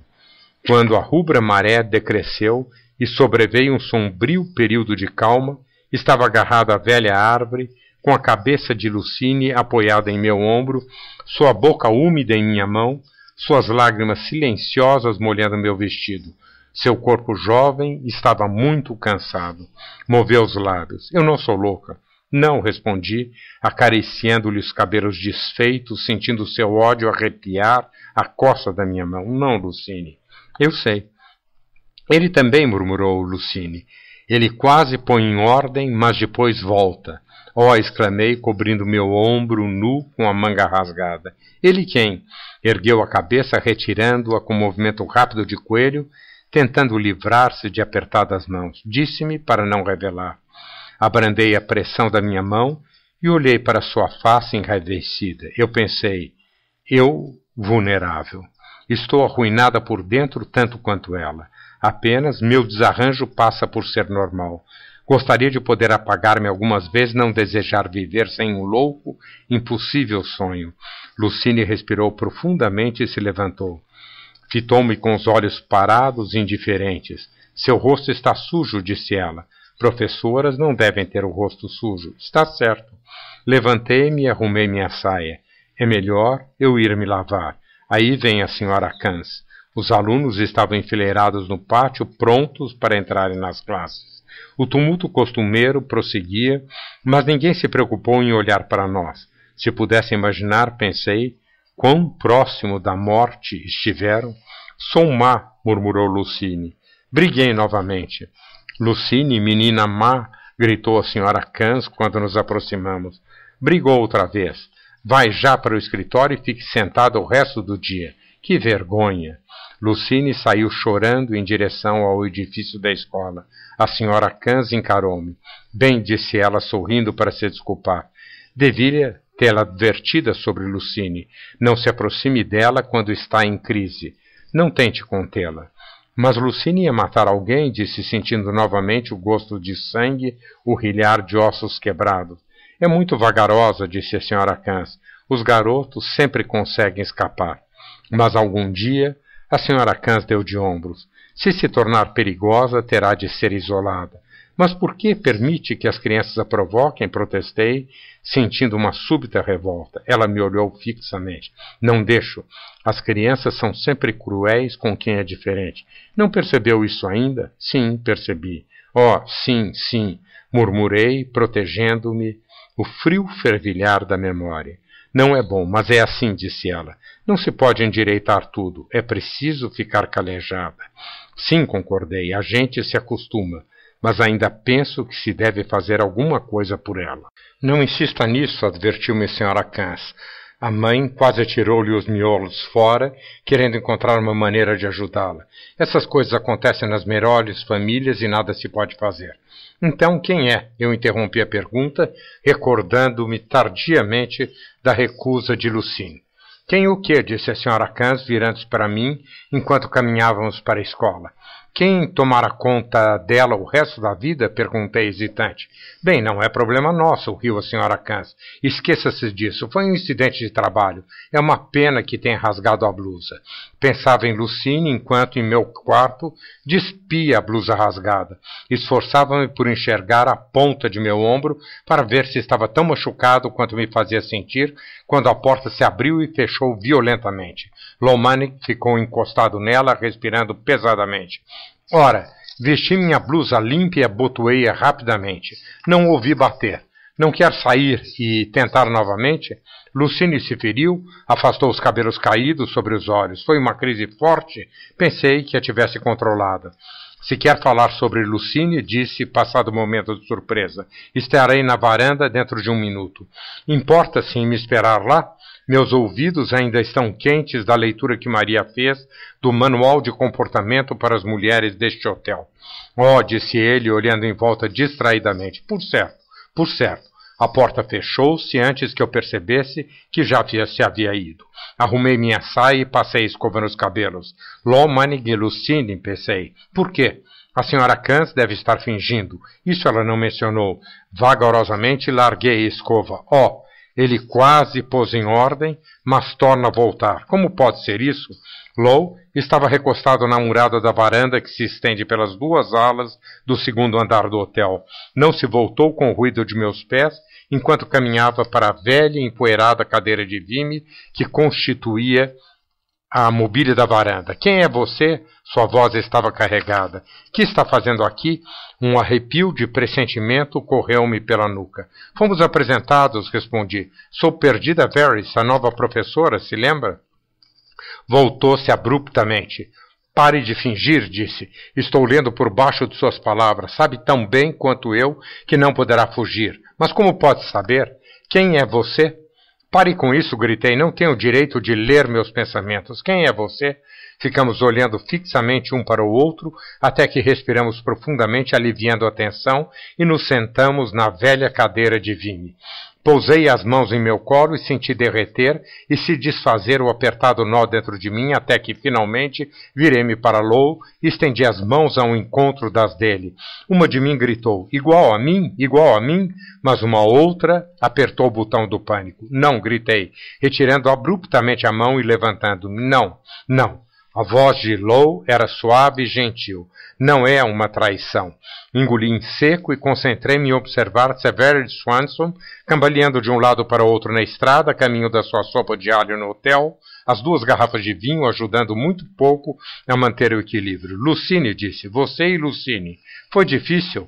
Sua voz disfarçava agora e os meus ossos lhes deixaram de pulsar no mesmo comprimento da onda. De acordo com a senhora Kans, tentei segurar uma serra elétrica, respondi vagamente. Foi difícil? Sua voz lambaçava-se clara no espaço. Afaste-se, eu gritei. Afaste-se. Mas ele já estava dentro de mim e eu era Lucine, e ele era eu e sustentávamos o horror negro e vermelho em nossas mãos, olhando-o fixamente. Juntos, navegamos de volta na maré cinzenta até que ele era Lucine e eu era eu e vi-me dentro de Lucine e enrubesci por seu apaixonado amor por mim. Bloqueada, encontrei de repente uma forma de expulsá-lo e fechei os olhos na solidão. Afaste-se, gritei. Muito bem. Dei um salto ao ouvir o grito indignado de Maria. Viu entrar em seu quarto sem bater e fechar a porta, continuou ela horrorizada. Fez bem em expulsá-lo e dizer-lhe por quê. Meu riso mais profundo afastou um pouco a barreira para encontrar o de LOL. Muito bem, muito bem. Metade da face de Maria contorceu-se num sorriso agradecido. Sabia que era uma boa menina. LOL, eu estou muito envergonhada de você. Pensei que estivesse um pouco acima dos sujos malandros daqui, e eis que vem bancar o lobo em plena luz do dia. Desceu para o hall barulhento, sua voz chegando a nós pela bela espiral da escada. Em plena luz do dia, a sopa estará pronta num abrir e fechar de olhos. Vão se lavar. Low e eu rimos e fomos nos lavar. Parei um momento com as mãos em conchas cheias de água retirada da grande bacia de porcelana e fiquei vendo escorrer enquanto verificava calidamente que pela primeira vez num período incomensurável eu rira verdadeiramente. Olhei longamente minha trêmula imagem na água, e não sozinha gritou uma de mim atônita, não sozinha. Na manhã seguinte viajei 30 quilômetros para a cidade e hospedei-me num hotel com água corrente dentro do edifício e quarto com banheiro. Deleitando-me com o luxo excepcional, expulsei a lembrança de Kruper. Livrei-me de tudo o que se referia a ela, exceto as rebrilhantes recordações de beleza, candura e alegria que permaneceram nos recantos da minha alma depois que o pó, sujeira e inconveniência foram eliminados. Estava deitada na sonolenta tarde de domingo, protelando mais que podia o momento de concentrar-me para a viagem de volta a Kruper.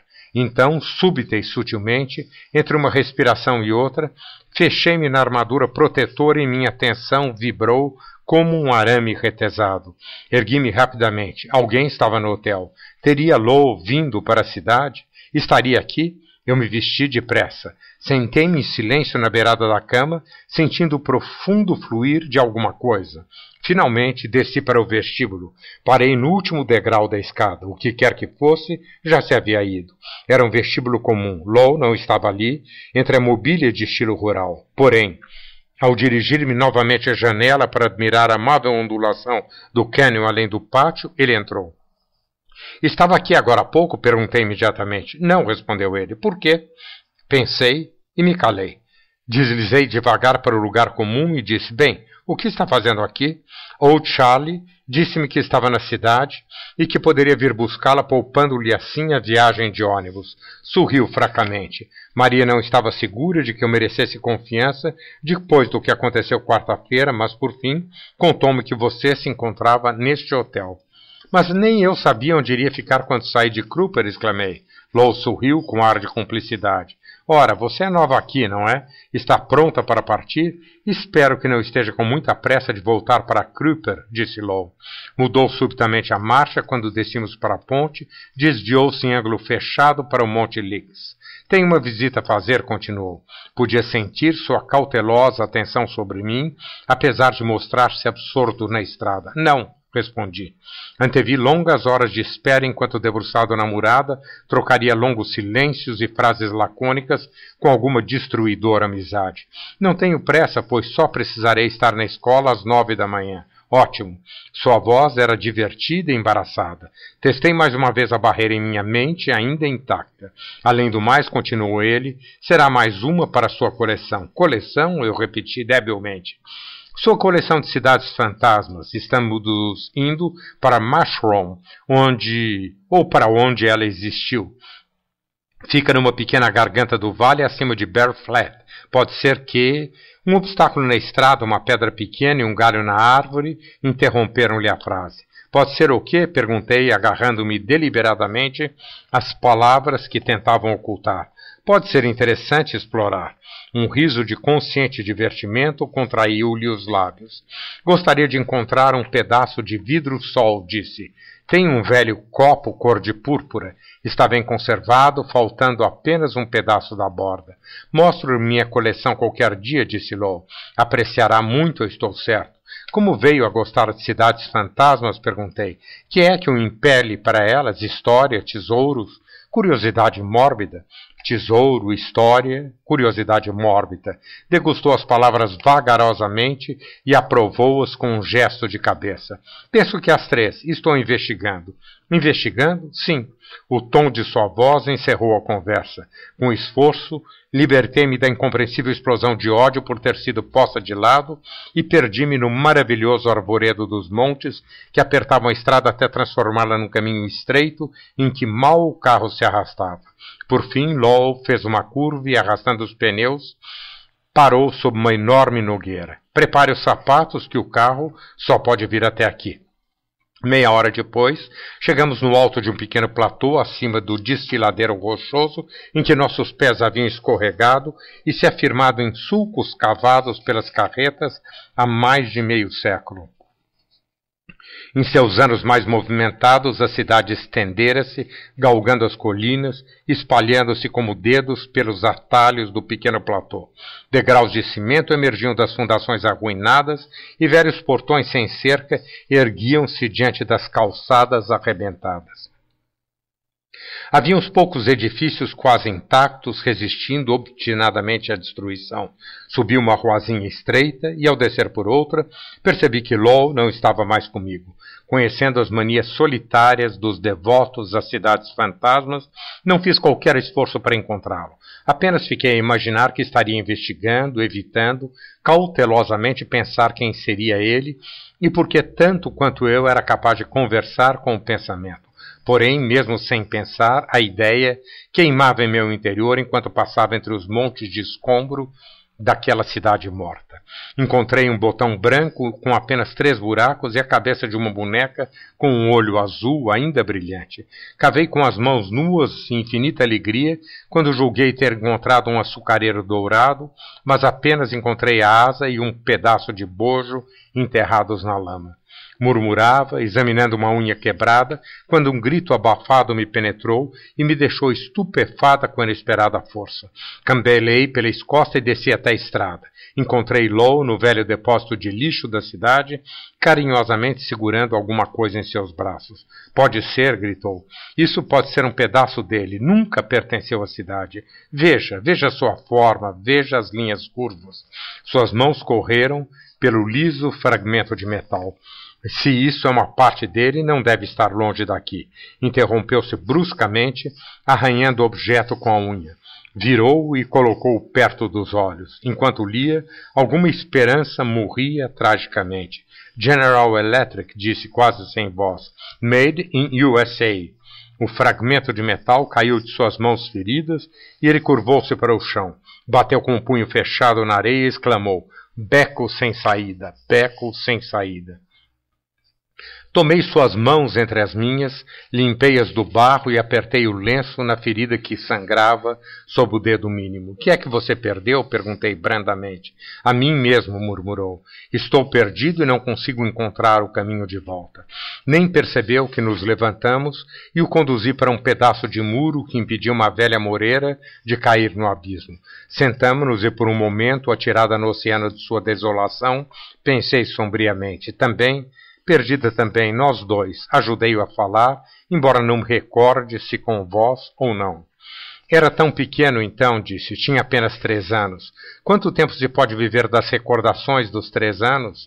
Mam, Me contou tudo o que sabia, mas já não me lembro mais. Houve um desastre, uma colisão violenta no outro lado de Chukwukwala. Meus pais morreram. O carro tentou levantar voo pouco antes de colidir. Lembro-me de que papai tentou evitar o outro carro e mamãe me protegeu, colocando-me fora de perigo. Deu-se a colisão e apenas pude ouvir. Não se esqueça. Volte para o vale e lembre-se de seu pai. Lembre-se do seu lar. Morreram e seus corpos se consumiram no incêndio com toda a identificação. Mam e Pap recolheram-me e criaram-me como seu filho, mas eu tinha que retornar. Tenho que retornar ao vale a que pertenço. Que vale? Eu perguntei. Que vale? disse ele sombriamente. Ao vale em que meu povo vive agora. O vale que escolheram após a destruição da nave espacial. A nave que estou procurando, rezando para encontrar um pequeno fragmento sem que me indique a direção do vale. O vale em que eu iria dormir se não se desse a colisão. O vale que não consigo encontrar porque não me recordo da estrada que conduz a ele. Parou um instante e depois prosseguiu. Mas você sabe, tem de saber, não é como as outras. É uma de nós, tem de ser. Eu me recolhi dentro de mim mesma. Eu não sou ninguém, respondi. Não pertenço a povo nenhum. Papai e mamãe conhecem todos os seus antepassados e até que eu crescesse e me tornasse normal, entre aspas, esforçavam-se em compreender por que haviam recebido o fardo de tal criança. Você pensa que está perdido, pelo menos sabe do que se perdeu. Tem um passado e eu não. Nunca ninguém me perdeu mas é capaz de conversar com o pensamento, disse cerrando os olhos. Mostrou-me Lucine. Sim, respondi negligentemente. E veja isto. Uma pedra na encosta do monte subitamente ganhou vida. Rolou encosta abaixo, fazendo saltar em gravetos e pedregulhos, despedaçando-se a rocha da base. Veja agora. Nunca experimentei fazer isso antes. Subi no muro quebrado e comecei a andar no ar, para frente em direção ao vale, sentindo a terra cair dos meus sapatos, sentindo o suave roçar do vento, a leveza, a imponderabilidade. Gritei, abrindo os braços, buscando extasiadamente agarrar meu sonho de libertação. Um minuto, um minuto mais e poderia escapar de mim mesmo em nunca, nunca, nunca. Então, LOL me apanhou antes que me espetasse na ponta dos pinheiros do vale. Conduziu-me, eu lutava e protestava, através da frágil vacuidade do ar, de volta ao velho sabugueiro. Consegui, consegui, consegui realmente.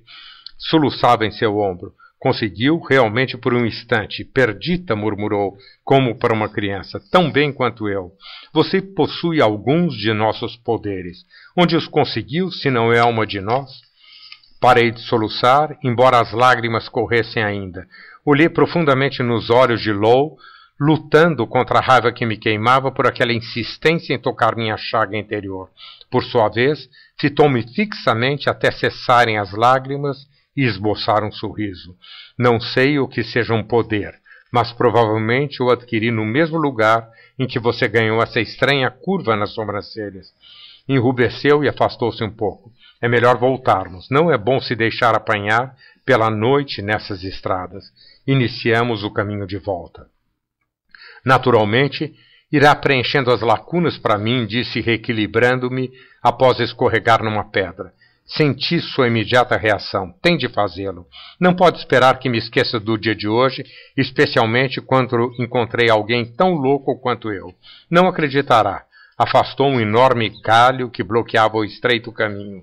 Nesses últimos anos, tenho sido obrigado a crer em coisas inacreditáveis a meu respeito, eu respondi. É mais fácil acreditar quando se referem a outras pessoas. Mergulhamos na magia do crepúsculo que se transformava numa noite brilhante.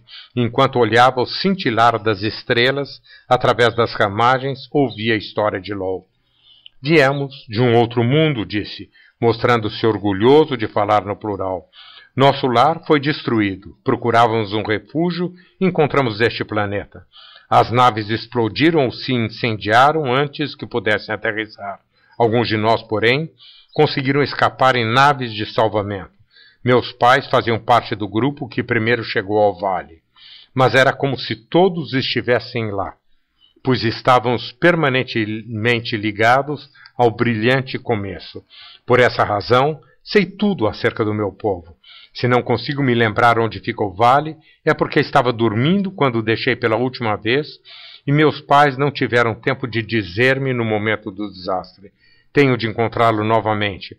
Não poderei andar às cegas a vida toda. Não percebeu meu sobressalto ao ouvir, partindo dele, a frase que eu mesma dissera quando eu estava com Lucine. Nada poderei fazer até reencontrar o meu povo. Não me lembro sequer do nome do vale. Sei que nossas naves bateram contra as montanhas e tenho esperança de encontrar algum cidal numa dessas cidades mortas. Chegamos aqui na virada do século, em algum lugar. Algum lugar deve existir ainda algum sinal.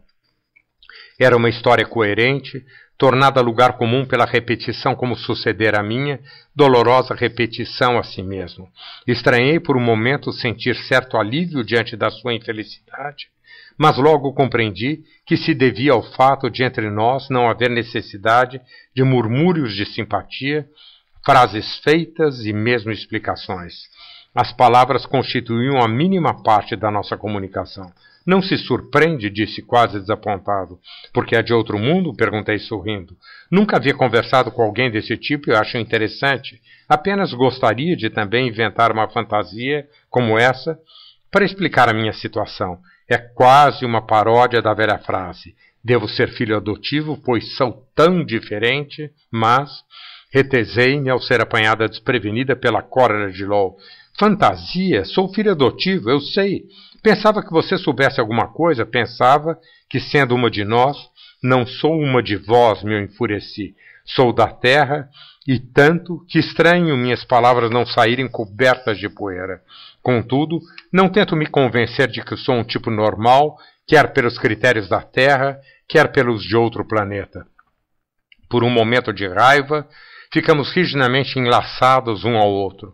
Meus dentes doíam com a contração das mandíbulas. Low passou o dedo pela minha face. Pense como quiser, disse.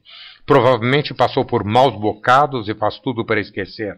Talvez um dia se recorde de que é uma de nós. E então, talvez, talvez, talvez, respondi com a voz enfraquecida pelo cansaço. Hoje, porém, eu não aguento mais. É muita coisa para um único dia.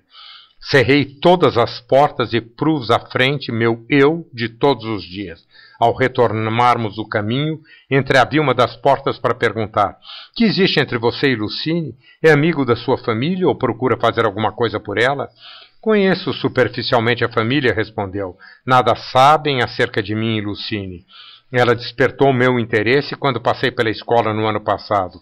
Os garotos a estavam provocando. Nunca senti tamanha pena em toda a minha vida.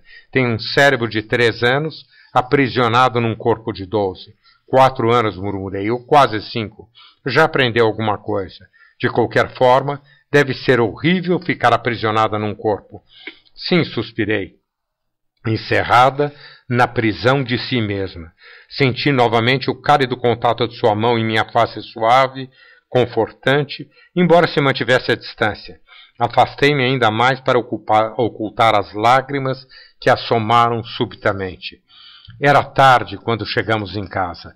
Havia ainda luzes nos bares e numa ou noutra casa quando entramos em Kruper, mas o hotel estava completamente escuro e, no silêncio que sucedeu à parada do carro, ouvi o vagaroso chiar do velho portão de entrada, balançado pelo vento. Descemos do carro sem fazer ruído e caminhamos até o portão. Como sempre, o galho de roseira que atravessava a cerca enredou-se em meu cabelo e, tendo Lou ajudado a me libertar, começamos a rir. Há muito, pensava eu, não nos sentimos tão jovens e felizes. Aliviemos-nos por um momento das amargas tensões e nos apoiamos mutuamente enquanto o mundo se recusava a nos aceitar como tão fortemente desejávamos, e tendo encontrado uma alma irmã, bem, inesperadamente gargalhamos. Permanecemos na escada do pórtico, tentando abafar nossas risadas. Pensarão que estamos loucos se nos virem assim, disse. Tenho uma novidade para você, disse Lou junto ao meu ouvido. Somos loucos. No entanto, está desafiado a prová-lo. Como se fosse preciso provar. Desafio seu riso picou-me a face. Como perguntei audaciosamente. Não usemos a escada, soprou-me ele. Vamos voando. Por que gastar energia quando podemos? Estendeu a mão para mim, com ar sério, tomei-a, e voltamos para o portão onde ficamos parados, de mãos dadas, olhando para o alto. Pronta, murmurou. Senti que me puxava para cima. Ergui-me no ar, junto com ele, todo o tremor comprimido em minha mão. O galho da roseira me agarrou novamente. Espere, murmurei, querendo rir. Estou presa. Grilhões da terra, brincou, enquanto desenvestilhava os espinhos. Sorria quando disser isso, meu caro. Senti meu coração se desmanchar de prazer por ter atingido um estado em que podia brincar com coisa tão amarga e procurei ignorar que meus pés caminhavam no ar. Tendo desembaraçado meus cabelos, Lou puxou-me para si. Creio que nossos lábios apenas se tocaram, mas ultrapassamos o pórtico e tivemos de voltar para descer nele. Lou ajudou-me a saltar a murada. Conseguimos, murmurou. Sim, eu respondi. Conseguimos. De repente ficamos gelados. Alguém vinha pelo pátio. Alguém que cambaleou, rodou e foi bater, tilintando vidros de encontro ao poste do portão. Ai, ai, madre mia! Severeid Swanson caiu de joelhos junto à garrafa quebrada. Ai, Virgem Puríssima! Será que nos viu? perguntei em voz baixa. Duvido. Há muitos anos que não vê nada fora de si mesmo. A voz de Low aquecia minha face. Cuidado com a cadeira. Caminhamos no escuro até ao hall superior. Uma pequena lâmpada refletia-se no firme filete d'água que escorria das torneiras, cujo bronze gasto tinha um brilho amarelo. Graças a elas, podíamos tomar banho no segundo andar. Nossa despedida foi silenciosa e rápida. Estava já de camisola e roupão, sentada na beira da cama, escovando os cabelos, quando ouvi um murmúrio junto à minha porta. Experimentei a macineta para ver se estava fechada e continuei a me pentear. Ouvi um baque e leves batidas. A maçaneta girou. Fessora era uma voz cautelosa. Fessora! Quem será? Pensei e caminhei para a porta. Sim, encostei-me à madeira delgada. Deixe-me entrar. As palavras eram ditas com cuidado e espaçadamente. Que deseja? Falar contigo, Fessora. Atônita, eu abri a porta. Era Severed Swanson que cambaleava no hall. Mas haviam-me dito que ele não falava inglês. Inclinava-se perigosamente para frente, o rosto brilhando sob a luz, muitos anos mais vó, jovem do que sempre me parecera. Minha garrafa quebrou, vocês foram os culpados. Não é bom andar voando sem ter asas. Los Angeles sim, pero não os namorados só para se beijarem. Fizeram com que derrubasse a garrafa. Todos os sonhos foram derramados no chão. Balançou a cabeça para trás e limpou o suor que inundava-lhe a testa. Não é bom. Digo isso porque tem a face iluminada. É boa para minha esperança. Tem sonhos que não saem da garrafa. Tem sorrisos e não chacotas para os perdidos. Mas não devia voar. Não é bom. Minha garrafa se quebrou. Sinto muito, respondi surpresa. Eu vou lhe comprar outra. Não, disse Severy. A última vez disseram isso também, mas não posso bebê-la por causa da magia. Na última vez, como passarinhos todos, todos no céu por sobre os montes, aqueles lá, os que também não têm sorriso para os perdidos. Na última vez, agarrei seu braço vacilante e puxei-o para dentro do quarto. Fechei a porta, sentindo a curiosidade correr aos meus ossos. Onde? Quando? Quem que estava voando? Piscou-me significativamente, passando a língua pelos lábios ressecados. Não é bom voar sem ter asas, repetiu. Está certo, eu sei. Mas onde você viu outros voarem sem asas? Eu preciso encontrá-las, eu preciso. Como passarinhos, disse, por cima dos montes. Por favor, supliquei, recorrendo ansiosamente a todo o meu castelhano. Trabalhei lá durante muito tempo, nunca mais os vi. Bebi um pouco mais. Chin Joe deu-me outra garrafa. Por favor, senhor, gritei. Donde? Adonde? A luz desapareceu do seu rosto. Sua boca afrouxou-se. Os olhos mortos fitavam-me por entre as pálpebras semicerradas. Não compreendo. Olhou em volta de si, confuso. Buenas noches, senhorita. Afastou-se e fechou a porta atrás de si. Mas por favor, por favor, eu gritei. Voltei para a cama e agarrei-me àquela preciosa informação. Outros, voando acima dos montes, todos, todos no céu. Talvez, ó, Talvez um deles tenha estado no hotel da cidade. Talvez não estejam muito longe, se ao menos soubessem. Senti então um horrível vazio. Se fosse verdade, se Severide realmente tivesse visto outros voando como pássaros por sobre os montes, então Low estava certo. Existiam outros. Haveria de existir um vale, uma nave espacial, um lar. Mas que que isso tinha a ver comigo? Afastei todas as possibilidades, me virei na cama e afundei o rosto no travesseiro. Mas, e papai e mamãe, e vovó Joss, vovó Malvina, bisavô Benedelli, e repassei de memória as histórias que ouvira sobre minha família, cruzando o oceano num pequeno navio, construindo um novo país. Ora, meus antepassados formam um sólido muro atrás de mim, quase que até Adão. Eu debati-me contra a evidência e chorei, querendo transformar aquele muro numa cortina agitada pelos ventos da dúvida. Não, não. Solucei e, pela primeira vez em toda a minha vida, chorava por minha mãe, senti-me tão desamparada como se ela tivesse morrido. De repente me sentei na cama. Não pode ser verdade, é apenas um bêbado. Tudo pode sair da sua garrafa. Não pode ser verdade. Mas pode ser, murmurou maliciosamente, uma de mim. Pode ser. Nos dias que se seguiram, quase nada aconteceu. Havia alcançado uma trégua na batalha comigo mesma. Talvez porque tivesse outras coisas com que me preocupar, talvez porque as emoções também precisam de descanso. Contudo, um encantamento de haver conhecido Low não diminuíra. Pressentia sua saudação ao pisar o primeiro degrau da escada pela manhã e algumas vezes era despertada no escuro por seu silencioso boa noite. Certa vez, após o jantar, Marie plantou-se diante de mim quando me preparava para deixar a mesa. Sem dizer nada, apontou para o prato em que eu fizera montículos com a comida. Eu corei. Não está boa? perguntou, cruzando os braços sobre a imensa barriga. Está ótima, Marie, respondi.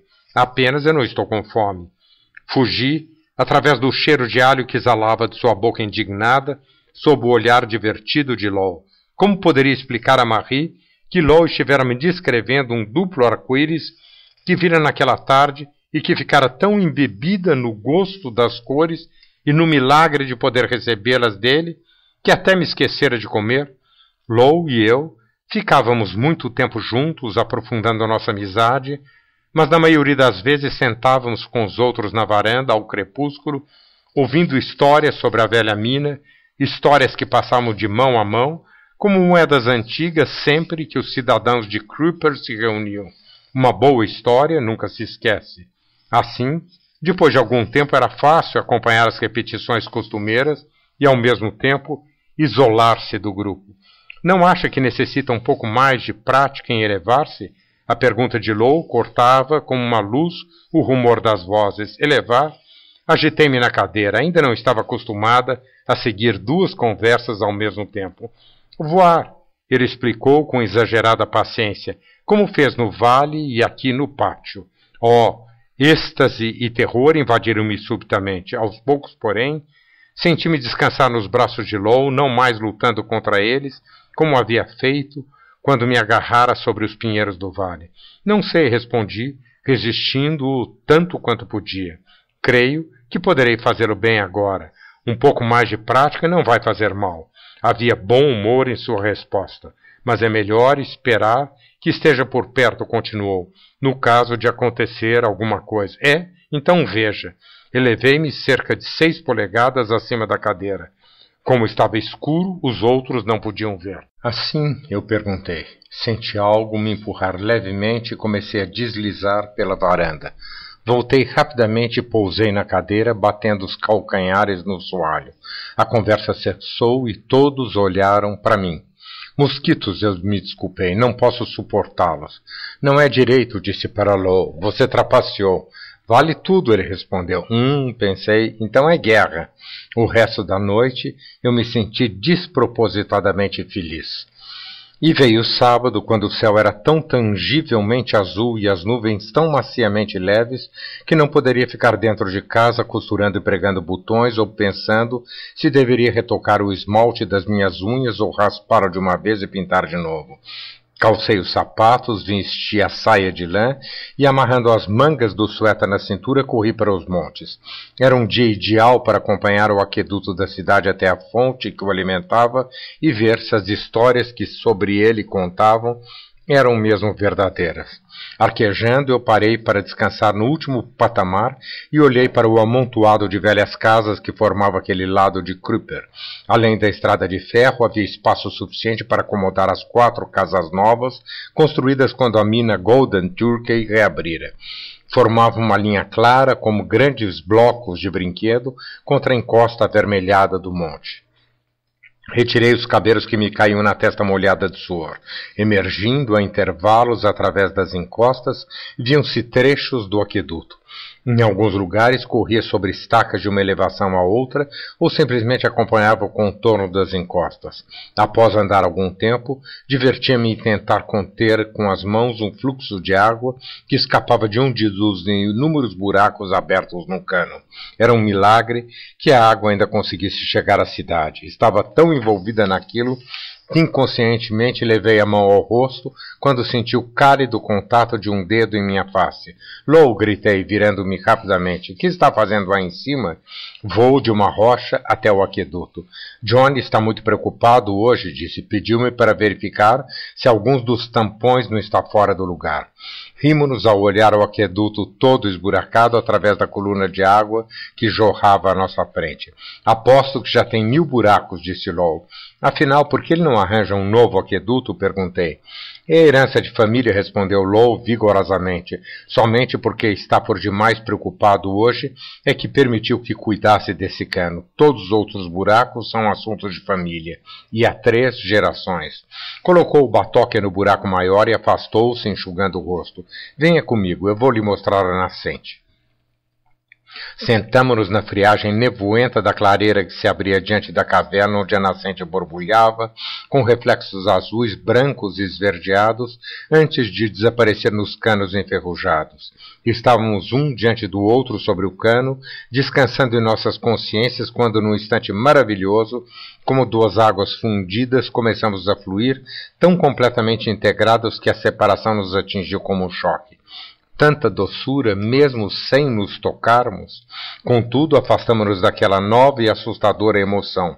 Não encontrando palavras, Lou fez voar até mim uma flor, arrancando-lhe uma pétula quando passou por ele. Obrigada, disse, cheirando e espirrando violentamente. Gostaria de poder fazer isso. Ora, você pode, disse Lou. Levantou aquela rocha em Marshall e é capaz de voar. Sim, voar, estremeci ao recordar-me.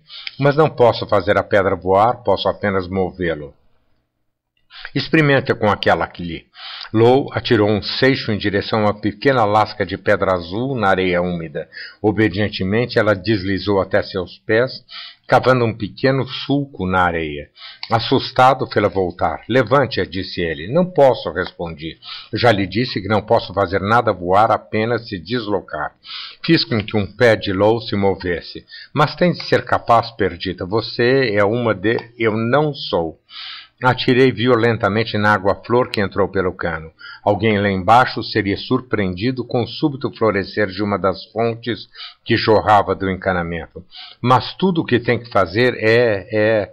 Lou procurava as palavras. Sim, inclinei-me para ouvir. Talvez pudesse aprender. Bem, apenas voe. Ora, disse desapontada. De qualquer forma, é capaz de fazer isso? Olhe. Vasculhei no bolso e tirei dois grampos. Tem uma moeda? Tenho. Vasculhou por sua vez os bolsos e encontrou uma moeda. Faça encandecer, disse-lhe. Encandecê-la? Que quer dizer com isso? Virou a moeda em sua mão. Sim, vamos, é fácil.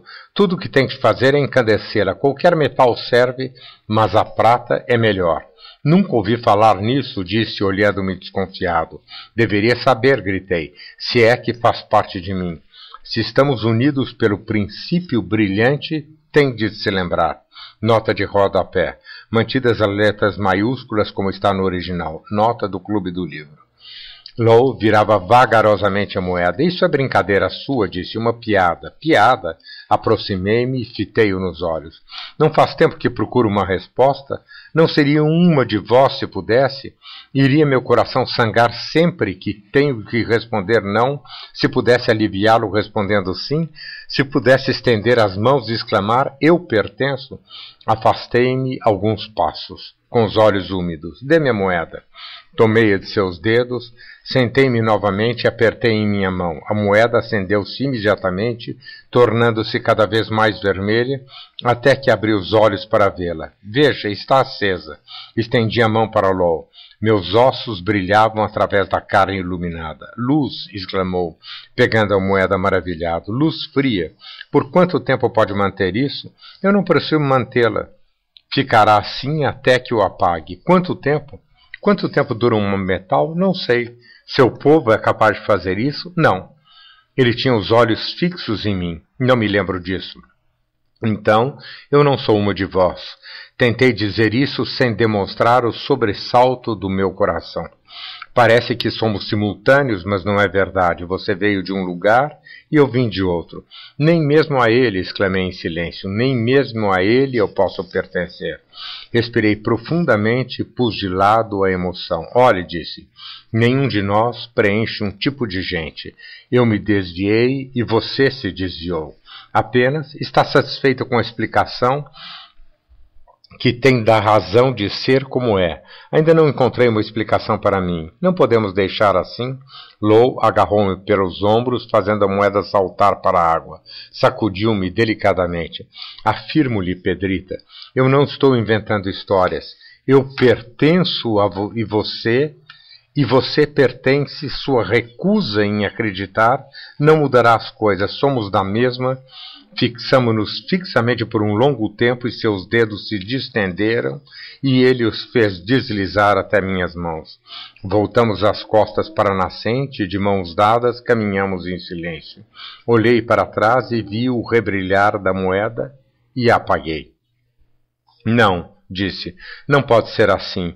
Eu saberia se fosse verdade. Não somos iguais. Mas então quem sou? Quem sou? E um pouco fatigada eu cambaleei. Por esse tempo tudo andava bem na escola e Petit concordara finalmente que o dois pode ter um nome e uma figura e aprendeu a contar até dez. E Lucine, símbolo da nossa prisão, com nossa ajuda, estava se desenvolvendo e com grande contentamento começava a ler seu segundo livro. Recordo-me, porém, do último dia calmo. Escrevera várias cartas perguntando sobre um possível chinês chamado Joe e estava lendo uma das respostas negativas que recebera. Até esse tempo ainda pudera ocultar de Low o divertido episódio com Severade. Queria eu mesma descobrir o vale se porventura existisse. Gostaria que fosse meu presente para ele e para meu conturbado ser. Mais que tudo, gostaria de saber pelo menos alguma coisa, mesmo que essa coisa provasse que eu estava errado e me separasse de Low. Uma única verdade segura em tudo aquilo seria um conforto e um ponto de partida para nos unirmos realmente. Muitas vezes desejei poder agarrar Severade e sacudi-lo para arrancar mais informações, mas ele desaparecera, abandonando o emprego sem receber o último ordenado. Ninguém sabia para onde ele tinha ido. A última vez que o viram em Kruper foi na manhã seguinte à sua conversa comigo. Estava ajoelhado na encruzilhada da estrada, balançando o corpo, uma garrafa em cada mão, sem se preocupar em pedir uma carona, apenas esperando que alguém parasse voluntariamente, o que por certo aconteceu. Perguntei a Esperança acerca dele, ela encolou nos dedos seus cabelos finos e brilhantes. É um bêbado, disse sem interesse. Essa gente não é esperta. Talvez tenha se perdido. Seus olhos brilhavam. No último ano, continuou, perdeu-se e os guardas encontraram-no em El Paso. Trouxe-me um perfume quando voltou. Talvez tenha ido para lá novamente. Era um perfume muito bom. Começou a descer a escada. Voltará, gritou a menos que esteja morto em alguma vala. Sacudi a cabeça e sorri decepcionada. Pensar que brigaria com uma gata selvagem se outra pessoa falasse de Cerberus daquela maneira. Suspirei e retornei à carta que estava lendo. De repente, enruguei a testa e agitei-me na cadeira. O que, que estava errado? Senti-me desassossegada. Rápido, examinei-me fisicamente. Depois, meus olhos perscrutaram a sala. Petit desenhava aviões a jato imitava-os. Os suaves cos, cos, cos das largadas era o único ruído audível. Examinei os pensamentos e tudo era normal. Voltava para a mesa quando fui atraída para trás. Havia um rumor agudo, doloroso, como de uma abelha enfurecida. Um rumor malicioso. Quem era? Encontrei seus olhos apagados e entendi. Quase me afoguei na torrente de ódio e, quando tentei encontrá-la em seu interior, fui repelida, como se nunca tivesse havido um contato entre nós. Nervosamente, esfreguei as mãos na saia, para limpá-la do que havia visto. O sinal de recreio bateu tão forte que dei um salto, rindo disso junto com as crianças. Assim que pude, Corri para a sala da senhora Cans. Lucine vai ter outra crise, eu disse imediatamente. O que a faz pensar assim? A senhora Cans corrigia as provas de literatura. Não penso, eu sei.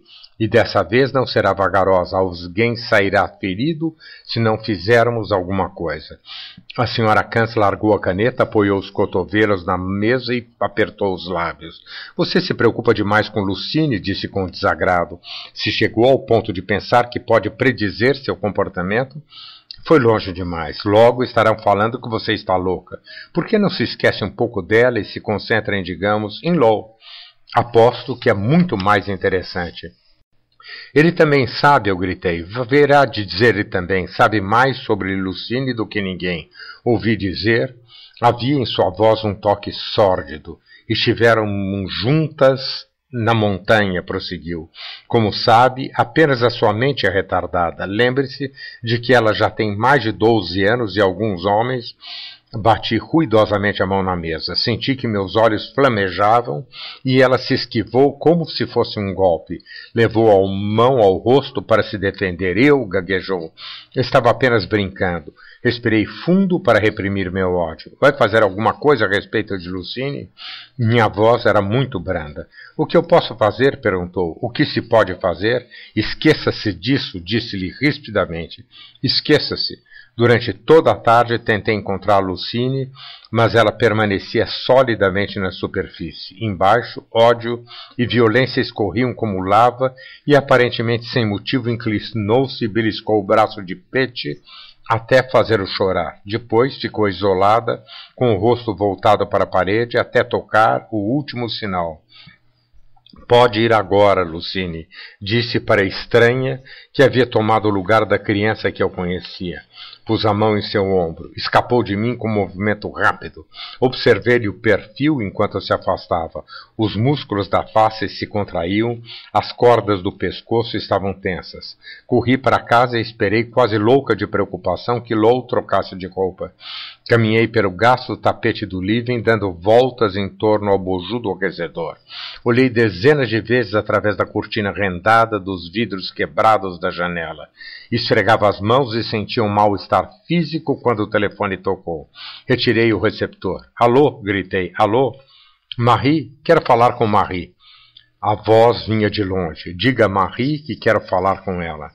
Chamei Marie e fui para a varanda. Fiquei andando de um lado para o outro, ouvindo a voz de Marie que aumentava e diminuía conforme me distanciava.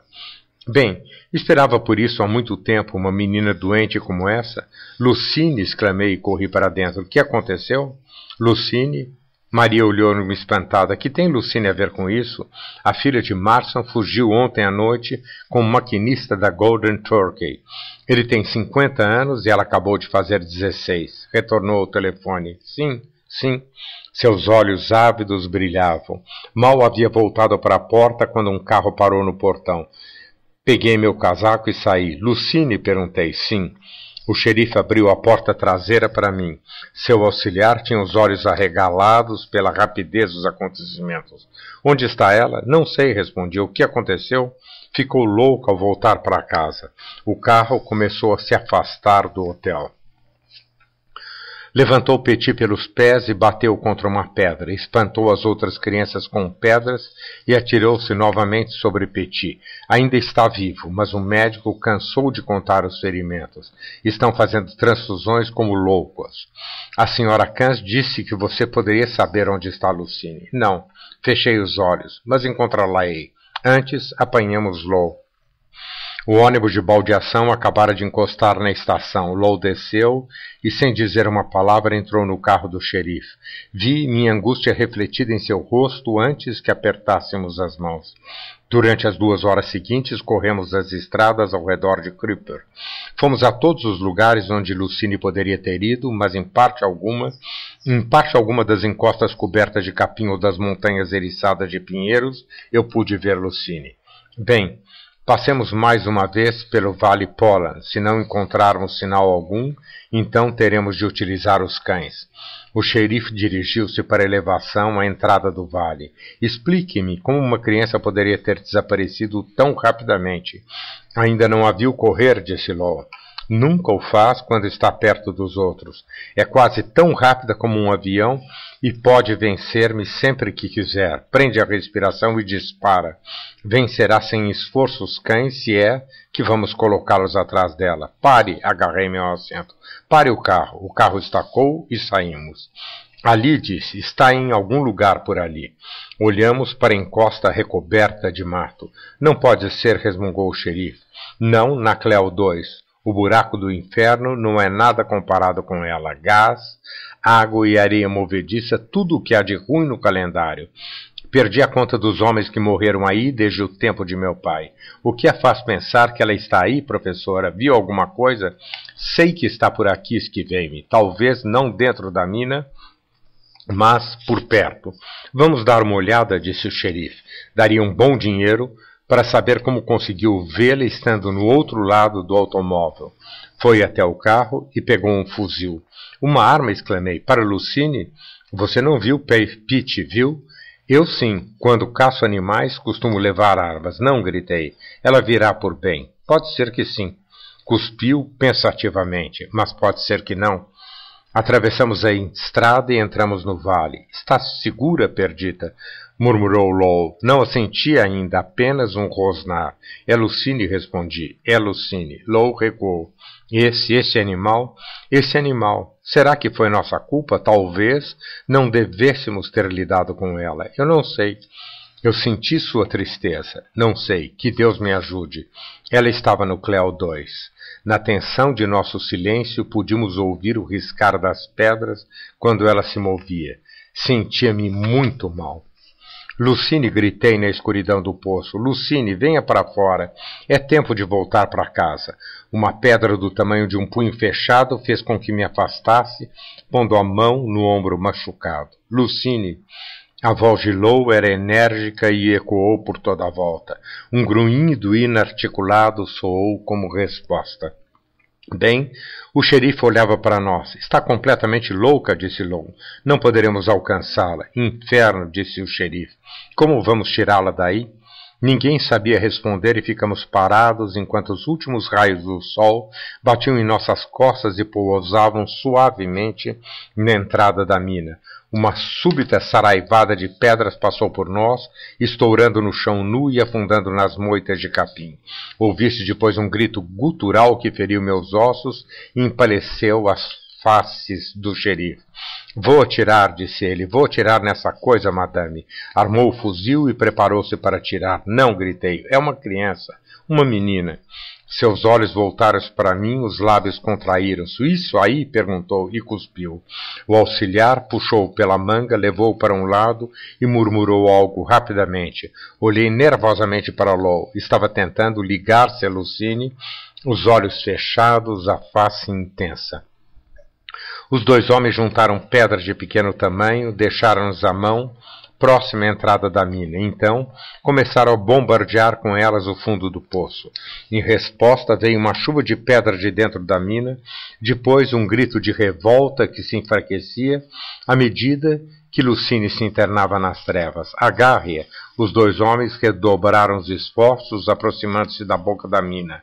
Low impediu-me de acompanhá-los. Há um poço lá dentro, ele disse. Estão tentando empurrá-la para ele. Certa vez, joguei uma pedra lá dentro e não o ouvi bater no fundo. Mas é um assassinato, gritei, atirando-me para frente, agarrando o braço do xerife. Parem com isso. É preciso apanhá-la de qualquer jeito, disse, retesando os músculos sob minha mão. Melhor morrer ela do que Pete e todos nós.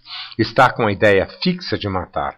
Concentrei-me como nunca o fizera antes. Enfiei-me, tateando através da escuridão da mina para uma treva ainda mais pesada e profunda, as trevas de Lucine, e lutei contra ela até senti-la invadir-me incontrolavelmente. Persisti obstinadamente tentando encontrar uma migalha de razão sob o manto da loucura e através dela introduzir um pouco de saúde.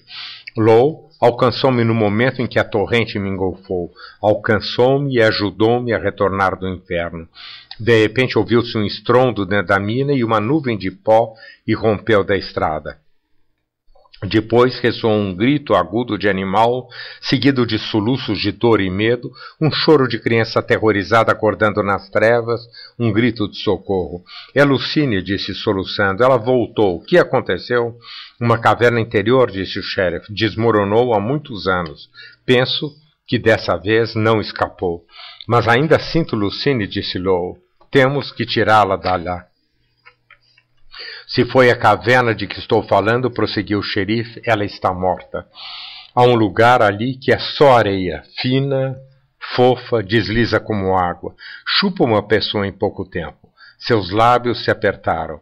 O primeiro homem morto que vi continuou: tirei-o dessa areia. Tinha 16 anos então e, como era o mais magro de todos, mandaram-me buscar o corpo. Puxei o primeiro pelos pés, cara teimoso. Arranquei-o da areia como se arranca uma planta, afogado na lama. É, vamos ter muito trabalho desta vez. Bem, disse, pondo o chapéu para trás, é melhor ir até a cidade e trazer mais gente para cá. Ela não está morta, disse Low, ainda respira. Ficou presa sob alguma coisa e não pode se livrar. O xerife olhou através das pálpebras semicerradas. Ouvi dizer que você é uma espécie de feiticeiro, disse ele. Parece-me um louco falando desse jeito. Quer voltar para a cidade, madame? Sua voz se abrandou. Não poderá fazer mais nada por aqui, ela está morta. Não está, eu disse. Ainda vive e posso ouvi-la. Ora, resmungou o xerife, os dois, está bem. Ficam encarregados de impedir que a mina saia do lugar enquanto eu vou à cidade. Rindo da própria piada, ele se afastou, levando o auxiliar. Ouvimos o ruído do motor até que desapareceu no silêncio das florestas montanhosas. Percebemos a brisa nos galhos e o pio longínquo de algum pássaro. Ouvimos a batida de nossos pulsos e a perplexidade aterrorizada que era Lucine. E ouvimos a dor que começava a apertar as tenazes de aço em seu corpo e a lâmina cortante da agonia clamando pela luz que se perdia na inconsciência. Então, Começamos a tatear nas trevas do túnel. Tropecei e caí, sentindo uma torrente espessa envolver minha garganta, atraindo-me para baixo. Low debatia-se à minha frente. Volte, advertiu-me, volte ou ambos ficaremos presos. Não, eu gritei tentando avançar, não posso deixá-lo. Volte, gritou. Eu encontrarei Lucine e vou segurá-la até chegarem os homens. Você tem que me ajudar a conter a areia movediça. Não serei capaz, respondi. Eu não sei como fazer. Afastei a areia de meu peito. Pode sim, disse-me com o pensamento. Basta ficar olhando. Arrastei-me de volta pela interminável distância que percorrera sem saber e estendi-me à entrada da mina, as mãos enlameadas apertadas contra o rosto suado. Olhei profundamente dentro de mim mesma. Um abismo. Aprofundei-me, mente e espírito, até encontrar um novo poder, uma nova habilidade, e vagarosamente, vagarosamente, a corrente de areia começou a se dividir. Com o braço, Lucine protegia a boca e o nariz. Low abriu caminho pelo lodo, esforçando-se por alcançar Lucine antes que todo o ar desaparecesse. Estávamos tão unidos fazendo aquele trabalho que éramos um só. Éramos um, mas esse um era uma multidão unida no tremendo esforço. Assim, não necessitávamos de palavras para nos comunicar. Percorremos corredores, cavernas e encontramos o poço que arrebatara Lucine. Contive a corrente de areia movediça enquanto Lou se esforçava para alcançar a cabeça de Lucine. Cuidadosamente livramos o seu corpo. Por fim, Lou conseguiu pegá-la pelos ombros e perdeu-se. Perdeu-se completamente entre uma respiração e outra. Lou, eu gritei, erguendo-me à entrada do túnel, mas meu grito foi sufocado pelo estrondo que sacudiu o solo. Aterrorizada, vi a encosta tremer, abrir-se ao meio e mergulhar no silêncio após uma chuva de pedras que veio enterrar-se num monte de areia a meus pés. Gritei novamente e o céu rodopiou numa louca espiral e súbita, inexplicavelmente, lá estava Saroyd Swanson, flutuando acima dos pinheiros e gritando: Fessora! Fessora! O mundo parou, como que agarrado. Minhas pernas bambearam. Severid, gritei. Eles estão lá dentro. Ajude-me a tirá-los. Ajude-me. Severid encolheu os ombros. Não compreendo, professora, não compreendo. Trouxe comigo dois voadores. A senhora disse que precisava encontrá-los. Encontrei-os. Que faz aqui chorando? Antes de ter visto alguém junto de Severed, minha mente pressentira uma presença. As palavras saíam de mim antes que pudesse articulá-las. Subitamente, as rochas começaram a se mover. Caí de joelhos. Com um terrível assombro, vi a encosta levantar-se como as bordas de um sulco aberto pelo arado e a areia movediça jorrar como uma fonte avermelhada das entranhas da mina. Low e Lucine foram expelidos com um jato e a encosta fechou-se novamente. Low e Lucine pousaram à minha frente e a luz desapareceu. Atirei-me ao chão e pus a mão no rosto de Low. O sol desaparecera completamente. Senti areia macia sob minha face. Um vento frio soprava nas árvores, mas onde estávamos, o calor da tarde era conservado por blocos de granito. Sem me mover, juntei-me a Low, Valance e Jamie. Sem abrir os olhos, podia ver tudo à minha volta, ganhava forças. A alegria tornava-se insuportável. Eu me levantei. Expliquem-me, disse, como pôde Severid encontrá-los pela segunda vez? Não me importei com o sorriso indulgente que Jamie e Valance trocaram. Não importava sentir-me como criança se eles eram os adultos. A primeira vez que nos viu, disse Jamie, foi quando resolveu dormir perto do lugar que escolhéramos para um piquenique. Estava tão bêbado ou tão infantil, ou ambas as coisas que não estranhou, nem teve medo ao nos ver voando pelo céu. Apenas intrigou-se e achou muito divertido. Pensou que havia morrido e que passava pelo purgatório. Custou-nos convencê-los a não nos acompanhar. Evidentemente, ao deixá-lo, bloqueamos sua memória de modo que não pudesse falar sobre nós a outras pessoas, exceto a quem pertencesse a nosso povo. Jamie sorriu para mim. Eis porque ficamos assustados ao descobrir que nos havia revelado a você que não pertence ao povo, pelo menos não ao lar. Foi a terceira surpresa que tivemos. Peter e Betty foram as primeiras, mas pelo menos tinham metade de nosso sangue. Porém, você balançou a cabeça com ar preocupado. Você não tem nada. Sim, eu respondi, estremecendo ao recordar os longos anos em que buscarem inutilmente uma relação. De fato, eu não tenho nada. Deixei-me envolver pela sensação confortante que emanava de Lowell, Jamie e Wallace, sua esposa.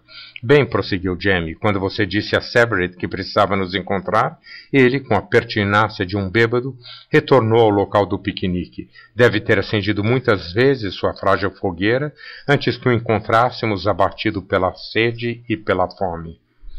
Jamie suspirou profundamente. Quando descobrimos que Severed conhecia duas pessoas que julgávamos pertencerem ao nosso povo, pois desde a chegada das primeiras naves estamos nos reencontrando bem, fizemos-lo dormir durante todo o caminho de volta.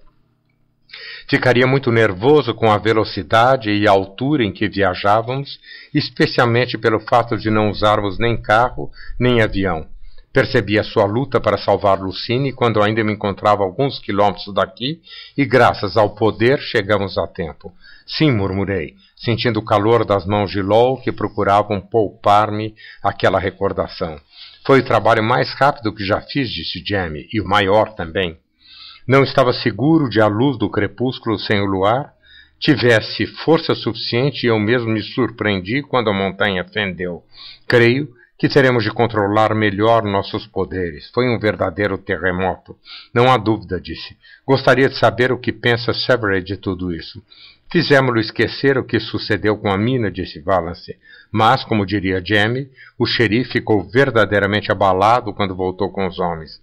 Apenas foi capaz de dizer, puxa, dessa vez acabou-se a Cleo 2. E Lucine, perguntei. Está sarando, disse Valance. Betty, nossa sensitiva, descobriu qual era a falha e agora está tudo bem. Dentro de pouco tempo ficará normal. E. e eu? Uma de nós, disseram-nos os três pelo pensamento, nascida na terra ou não, você é uma de nós. Mas que problema, disse Jamie. Pensávamos que tínhamos o registro de todos. Havia os que pertenciam completamente ao povo e os que eram metade da terra, como Peter e Betty. E então surgiu você. Nenhuma relação com o povo. Nenhuma, respondi, apoiando-me confortavelmente em meus antepassados. Nenhuma relação com o povo. Você confirma algo que tínhamos suspeitado, disse Valance. Talvez os habitantes da Terra estejam adquirindo alguns dos poderes. Havíamos encontrado sinais desse desenvolvimento, mas em escala muito diminuta. Não imaginávamos que alguém estivesse tão evoluído no caminho. Quantos não existirão pelo mundo à espera de serem encontrados? Ocultando, se você quer dizer, observei. Ninguém sai por aí esperando ser encontrado. Não após ter sentido os primeiros sintomas. Oh, nos primeiros momentos da descoberta, deseja-se partilhá-la, mas aprende-se logo a ocultá-la. Tão igual a nós, exclamou Wallace. Dois mundos e, mesmo assim, tão igual a nós. Mas não consegue fazer as coisas voarem, brincou Lowell.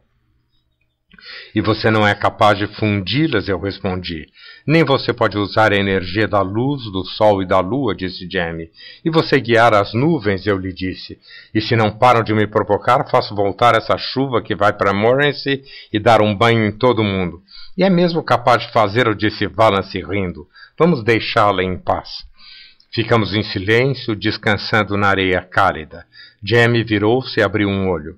Sabe, Valance, Low e Perdita podem comunicar-se mais livremente do que nós. Às vezes, fazem-no quase involuntariamente.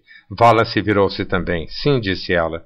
E Perdita pode me bloquear também. Apenas um natural pode fazer isso, e ela não é uma natural. Jamie balançou a cabeça. Coisas da terra, sempre inesperadas. Que problema ela nos vai ser? Uf, um problema e meio, pensou Low. Apesar disso, penso que ficarei com ela. Senti o seu terno sorriso. Fechei os olhos contra o sol, percebendo a luz através das pálpebras. Eu não estava perdida, pensei, sentindo enorme alegria. Na verdade, não estava perdida. Agarrei-me fortemente a meu sonho, sabendo que afinal poderia vivê-lo completamente. E não apenas eu, mas muitos outros que se acham perdidos e confusos. Algum dia também poderão ser o que hoje podem apenas sonhar. Calmamente adormeci, sentindo a mão quente de Lol em minha face. Poderia dormir sem temores ou sobressaltos. Pasta 5 Crime na ficção. Por que não comunicou a morte imediatamente? perguntou-me Madeleine. Poderia ao menos ter se livrado do cadáver logo depois, quando era mais fácil. Ah, sou preguiçoso e desorganizado. Estou exausto de nada fazer. Nunca me lembro onde deixei as coisas, perco meu tempo, esgoto os nervos, desgasto-me à procura delas, revirando gavetas, rastejando sob as camas, fechando-me na dispensa, enterrando-me em armários. Estou sempre começando projetos que não termino, abandono-os, deixo as coisas correrem, nenhuma força de vontade, pois não tenho objetivo na vida. Não fosse o dote de minha mulher, a sua pequena renda, deixou passar dez anos, o cheiro começa a se espalhar por todo o edifício. Os vizinhos já o sentiram e perguntam-se de onde poderia vir. Estão certos de que acabarão descobrindo. E a causa de tudo é sua falta de iniciativa. Agora terá de contar tudo ao comissário. Vai haver escândalo. Se ao menos pudéssemos provar que está morto há dez anos, o prazo para prescrição é justamente esse. Se tivesse comunicado a morte no devido tempo, estaríamos a salvo hoje. Estaríamos em paz. Não precisaríamos nos esconder dos vizinhos. Poderíamos receber visitas, como todo mundo. Eu quis responder. Não vê que teríamos sido presos, Madeleine? A prescrição não teria ocorrido, seríamos atirados a uma cela ou guilhotinados. Isso é óbvio.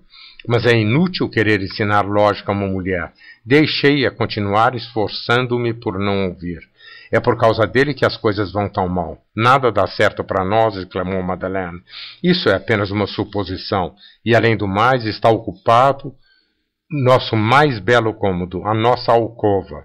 Pela décima milésima vez, talvez, fingi que ia ao banheiro e dirigi-me à esquerda no corredor para ir dar uma olhada no morto em seu quarto. Abri a porta. Inútil esperança. Nunca desapareceria sozinho. Havia mesmo aumentado de tamanho.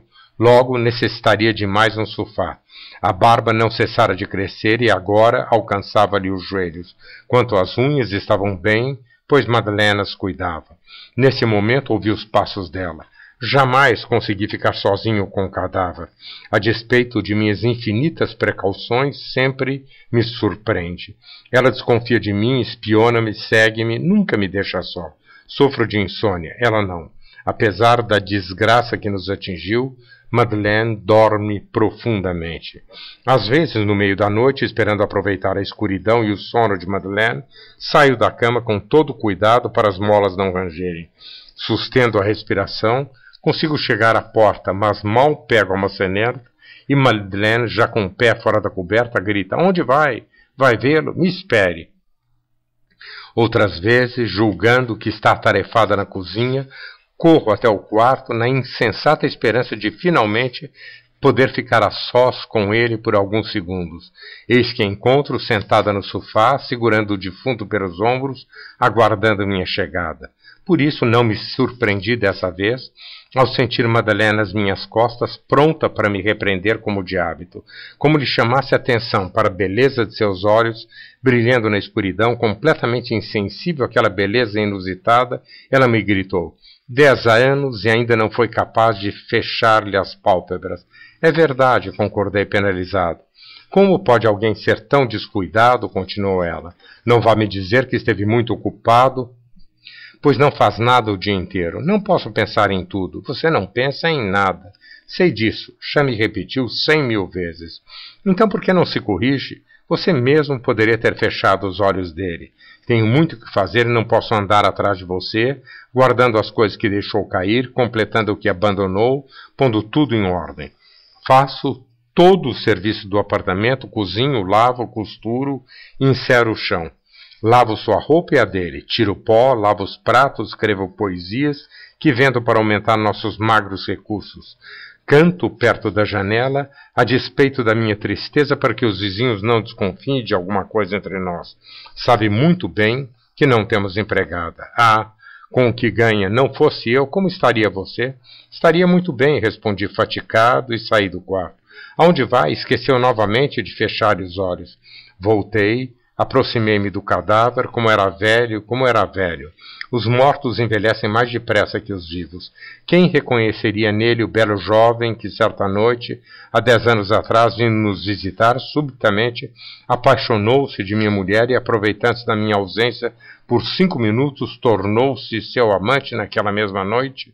Se ao menos, disse-me Madeleine, se ao menos tivesse ido ao comissário no dia seguinte ao crime e confessado que o mataram num momento de ódio ou de ciúme, o que é a pura verdade, então Tratando-se de um crime passional, não teria com que se preocupar. Fariam-no assinar uma declaração e o deixariam livre. Arquivariam a declaração num dossiê e tudo estaria terminado e esquecido há muito tempo. É por sua negligência que estamos nesse apuro. Toda vez que eu mandava ir fazer a declaração, me respondia amanhã, amanhã, amanhã. E os amanhã chegaram a dez anos. E agora estamos nessa situação. Tudo por sua culpa, só por sua culpa. Eu irei amanhã, disse-lhe, esperando ser deixado em paz. Oh, eu conheço. Você não vai. Além do mais, de que adiantaria agora? Ninguém acreditará, depois de dez anos, que o matou num momento de ódio. Quando se demora dez anos, começa a parecer que houve premeditação. Vivo me perguntando o que poderemos dizer se quisermos nos livrar. Envelhecido como está, poderá dizer que ele é seu pai e que o matou ontem. Mas talvez não seja uma boa desculpa. Ninguém acreditará em nós. Ninguém, murmurei. Eu sou um realista, não tenho força de vontade, mas raciocino com clareza. Por isso, a falta de bom senso, as opiniões descabidas de Madeleine sempre me foram intoleráveis. Vamos para outro quarto, disse e tornei a sair. Esqueceu outra vez de fechar-lhe os olhos. Por que não presta mais atenção no que os outros lhe dissem? gritou Madeleine. Duas semanas se passaram. Ele estava envelhecendo e aumentando de tamanho cada vez mais rapidamente. Isso nos alarmava, tudo indicava que aquela doença do defunto progredia geometricamente. Como pudera contraí-la em nossa casa? Em pouco tempo, o sofá tornou-se pequeno para contê-lo. Fomos obrigados a colocá-lo no chão, o que nos permitiu recobrar aquele móvel que colocamos na sala de jantar. Tive então, pela primeira vez em dez anos, a oportunidade de tirar uma soneca depois do almoço, quando os gritos de Madalena me despertaram. Está surdo, disse numa crise de nervosismo. Nada o preocupa, nada, dorme o dia inteiro. É porque não durmo à noite como se nada estivesse acontecendo nessa casa. Ouça! Ouvi estalos vindos do quarto do defunto. O reboque do teto deveria estar se desprendendo. Uma pressão irresistível fazia as paredes rangerem. O suário do apartamento, mesmo na sala de jantar, vibrava e estalava como as pranchas de uma embarcação. Uma janela quebrou, estilhaçando as vitraças. Felizmente, era uma janela do corredor interno. Que irão pensar os vizinhos? Madeleine estava desesperada. Vamos ver o que é. Mal havíamos dado dois passos em direção ao quarto do morto, quando a porta se despregou, despedaçando-se no solo, e lá estava a enorme cabeça do homem olhando para o teto. Os olhos ainda estão abertos, observou Madeleine. Sim, estavam abertos. Eram enormes e redondos iluminavam todo o corredor com uma luz alvacenta e fria. Felizmente a porta caiu, disse para acalmar Madeleine. Teremos mais espaço agora, pois o corredor é comprido. Sempre otimista. Veja, enquanto ela encolhia os ombros, eu olhei. Era perturbador. Ele crescia sob nossos olhos. Fiz um risco com giz algumas polegadas adiante da sua cabeça. Em poucos minutos, a, a marca foi alcançada e ultrapassada. Temos de agir, declarei. Realmente não podemos esperar mais. Finalmente recobrou os sentidos, disse Madeleine. Finalmente, finalmente compreendeu. Deveria ter agido há muito tempo, meu pobre amigo. Percebi meu erro. Tremendo, procurei desculpar-me. Idiota, retrucou Madeleine, como para me dar mais coragem.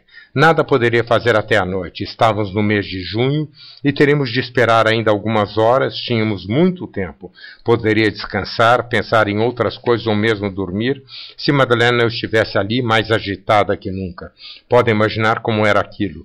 Não havia modo de ficar um minuto livre dos seus discursos, do seu já lhe disse, sua mania de sempre estar com a razão. Entretanto, a cabeça do cadáver continuava a avançar pelo corredor, aproximando-se cada vez mais da sala de jantar, cuja porta logo fui obrigado a abrir.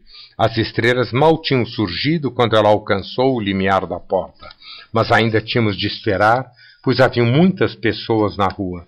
Era hora do jantar, porém não estávamos com fome. Com sede, sim. Contudo, os copos estavam na cozinha e seria preciso andar sobre o cadáver.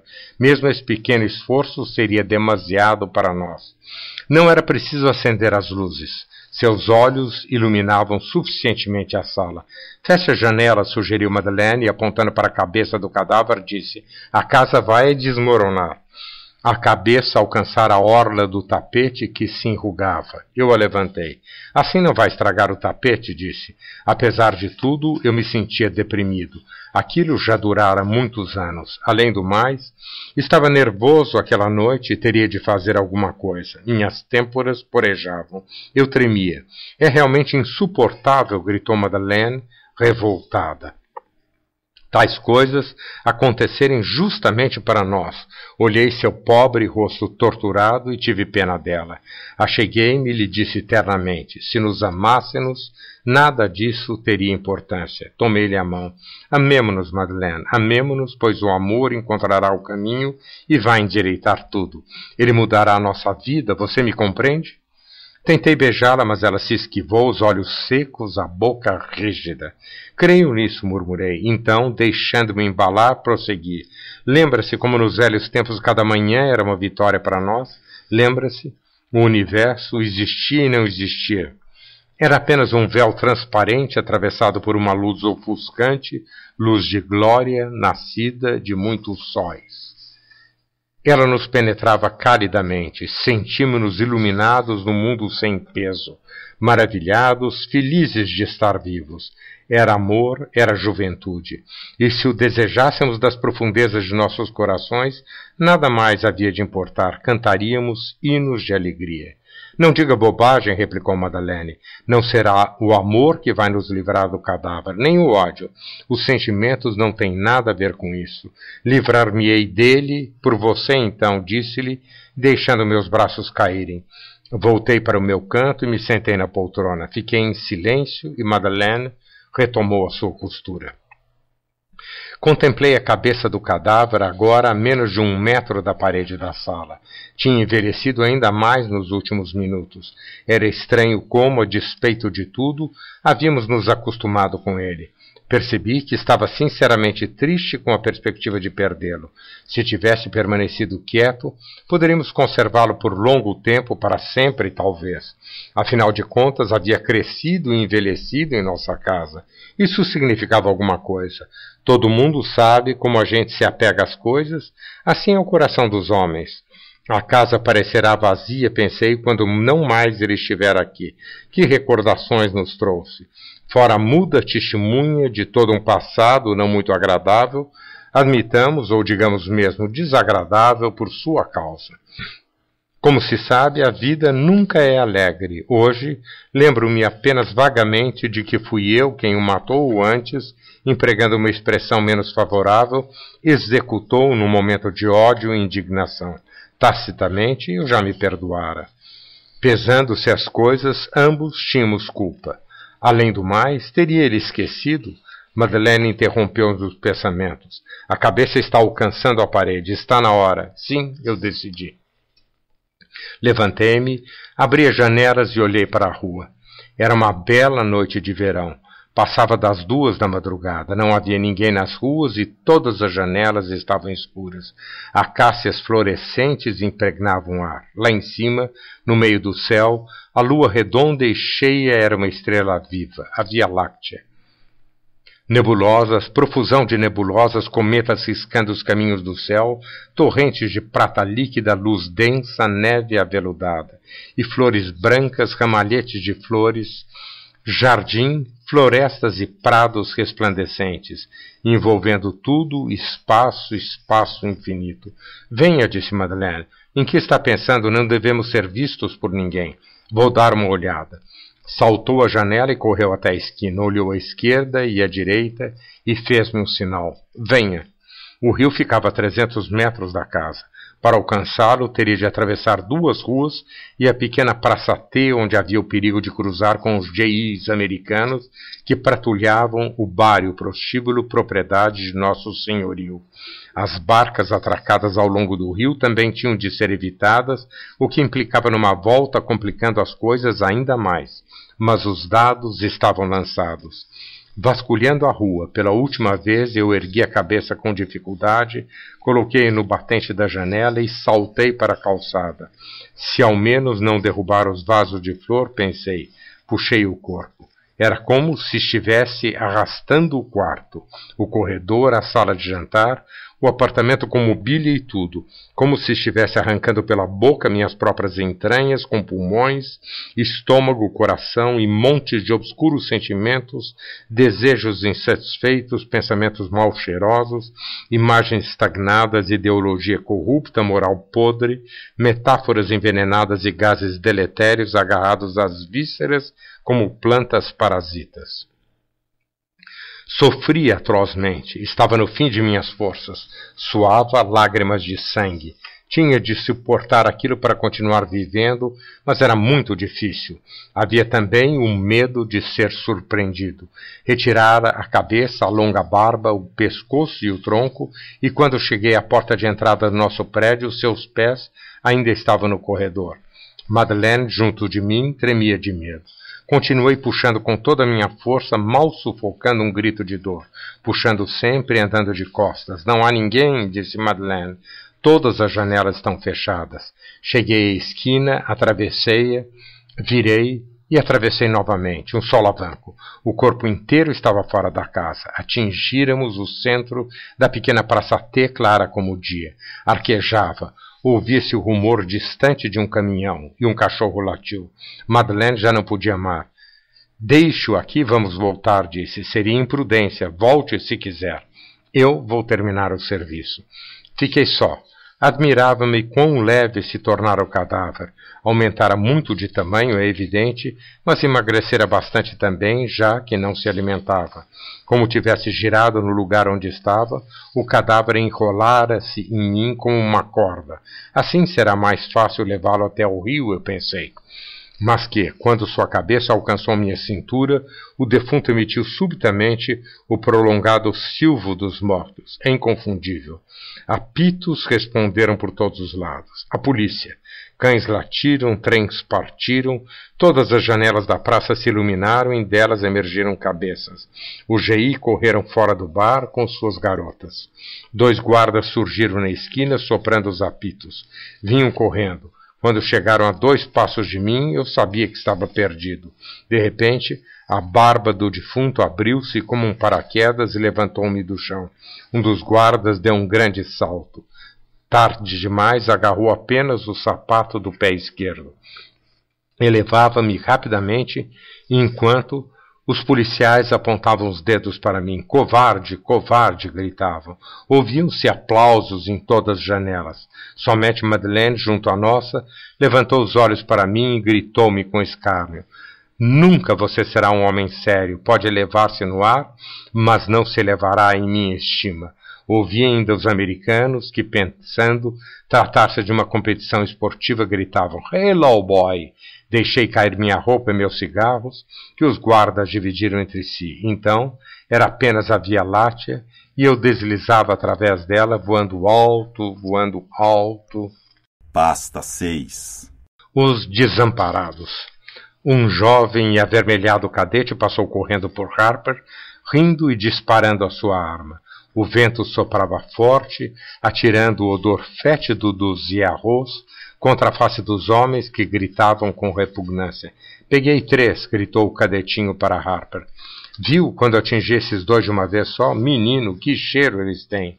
Harper olhou para o garoto suado e murmurou: Tem um cheiro, também não é lá dessas coisas.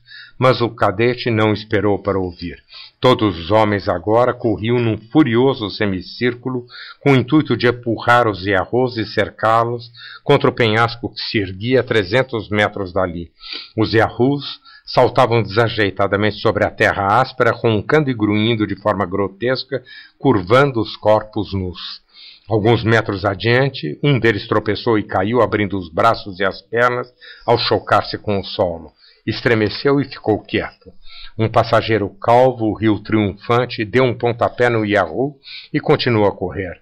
Harper ajoelhou-se junto ao primitivo caído, apalpou-lhe o pulso coberto de pelos.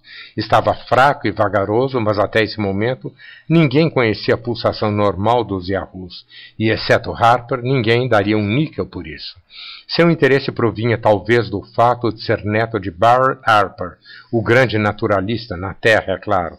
Parecia que o homem só se preocupa com a natureza em seu planeta de origem, cujas formas conhece tão bem.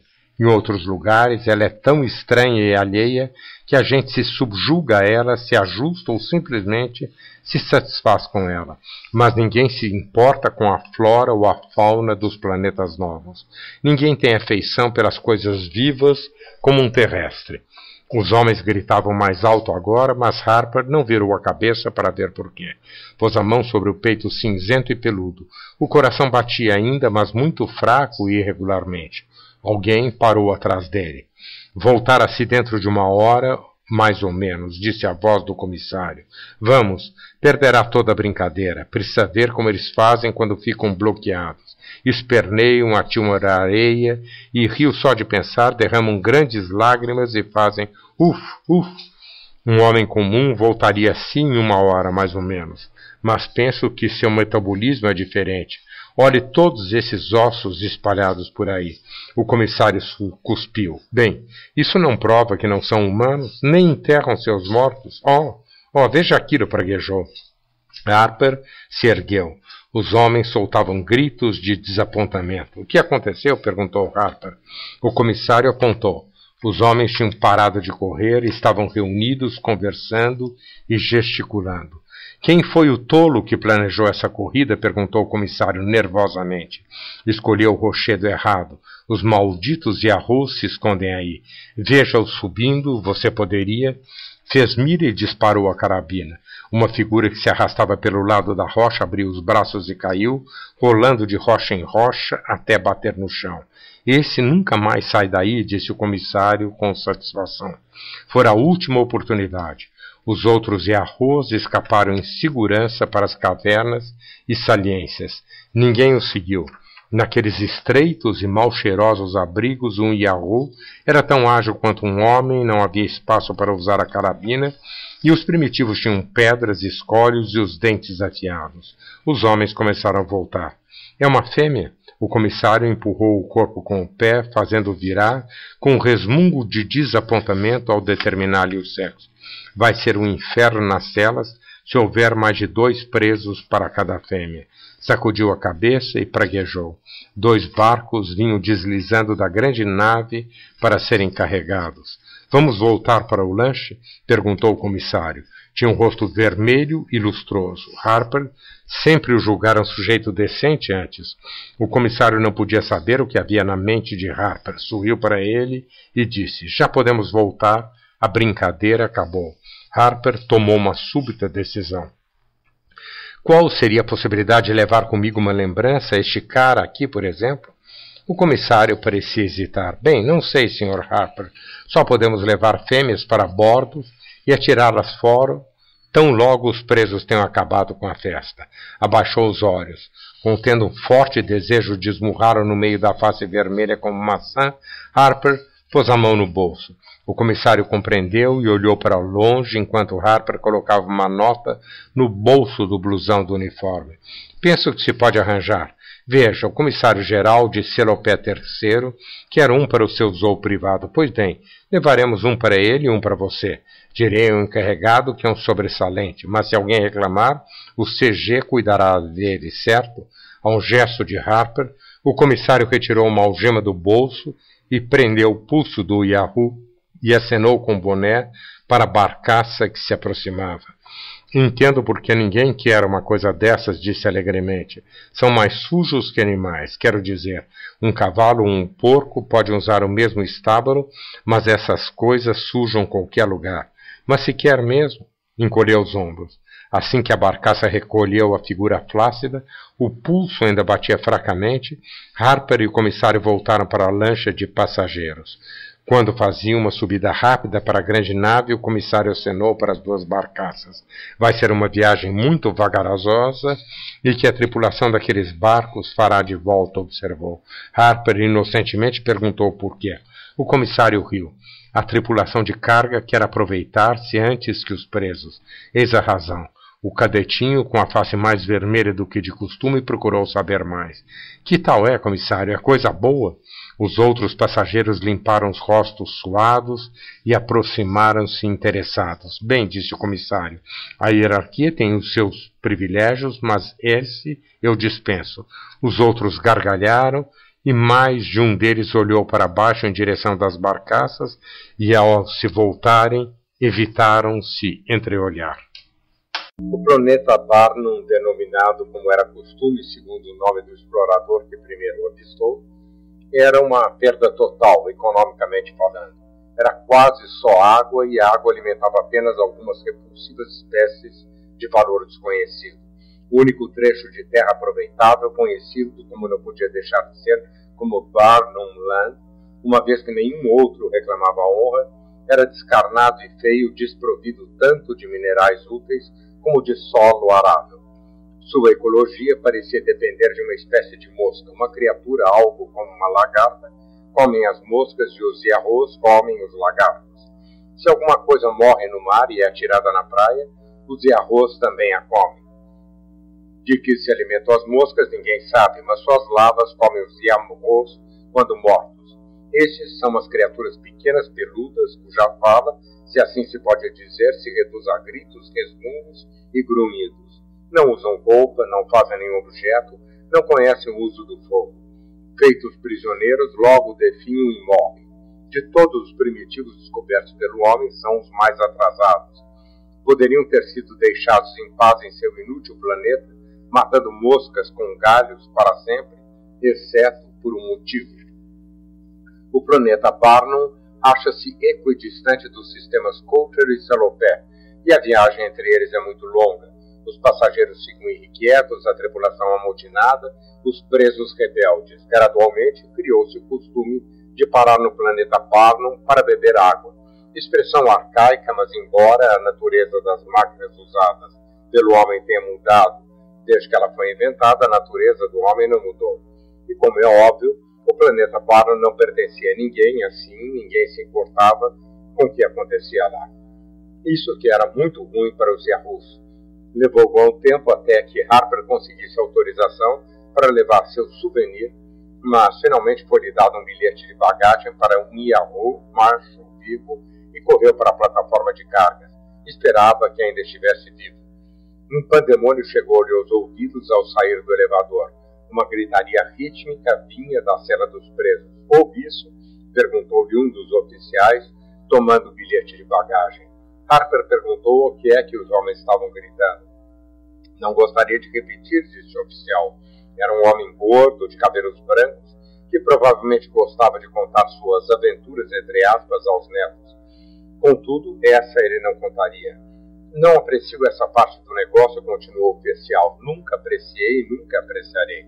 Essas criaturas estúpidas como são, me parecem humanas. E se não são, perguntou, como podemos descer tanto para entregar suas fêmeas aos prisioneiros? As barcaças pousaram na rampa. O barulho devia ter penetrado na cela dos presos, porque o alarido perdeu toda a semelhança com o fato. Tornou-se uma gritaria louca, cada vez mais forte. Eis sua prenda, disse o oficial de cabelos brancos. Ainda inconsciente, vejo, dar-lhe-ei um carregador. Apenas entregue isso para o guarda alfandegário quando tudo estiver pronto. Teve que levar a voz para ser ouvido na frenética gritaria provinda da cela. O cirurgião de bordo estava fora, tomando chá com o capitão. O oficial médico estava aborrecido. Que mais um? Não somos veterinários, você sabe, bem? Olhe-o para dentro. Meu auxiliar está trabalhando noutro. Uf! Tapou o nariz e afastou-se rapidamente. O ajudante, um jovem pálido de cabelos pretos cortados rentes, procurou a seringa com que acabara de aplicar uma injeção no exemplar de Earro reservado para o comissário geral Celopé III e riu fracamente. Júnior terá companhia, pelo que vejo. Mais algum? Harper balançou a cabeça. O ajudante prosseguiu. Seria interessante, o mais novo parece estar em estado de choque. Dei-lhe dois cc de sulfato antidar e vejo que seria melhor fazer o mesmo com os seus. Então, bem, penso que ainda não há nada como soro de albumina, mas seria melhor me ajudar a amarrá-los. Se voltarem a si, há uma cela lá atrás em que poderei colocá-los até conseguir jaulas adequadas. Injetou o estimulante no braço flácido do Iabô de rata quem deu nome a esses animais conhecia Swift, disse o jovem médico. Você já leu aquele velho livro, As Viagens de Gulliver? Harper assentiu.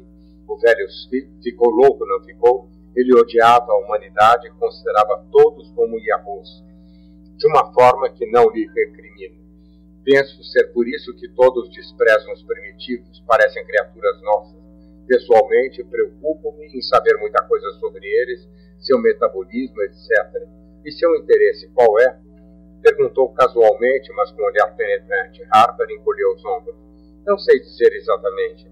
Não é interesse científico, pois sou homem de negócios. Hesitou. Já ouviu falar nos tasmanianos? O ajudante balançou a cabeça. Enterrou uma agulha na veia do braço do jovem Erro, preparado para receber o soro.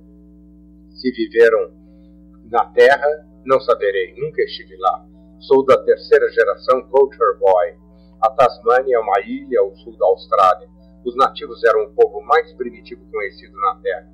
Foram quase todos eliminados pelos colonizadores mas um deles conseguiu conduzir os sobreviventes para uma ilha menor. Então, uma coisa curiosa sucedeu. Desviando o olhar do primitivo mais velho, o ajudante perguntou o que era. Os tasmanieros, os poucos que foram poupados, desistiram, desapareceram, recusaram-se a procriar. Em poucos anos estavam todos mortos. Li acerca deles quando era menino. Por alguma razão, isso me comoveu muito.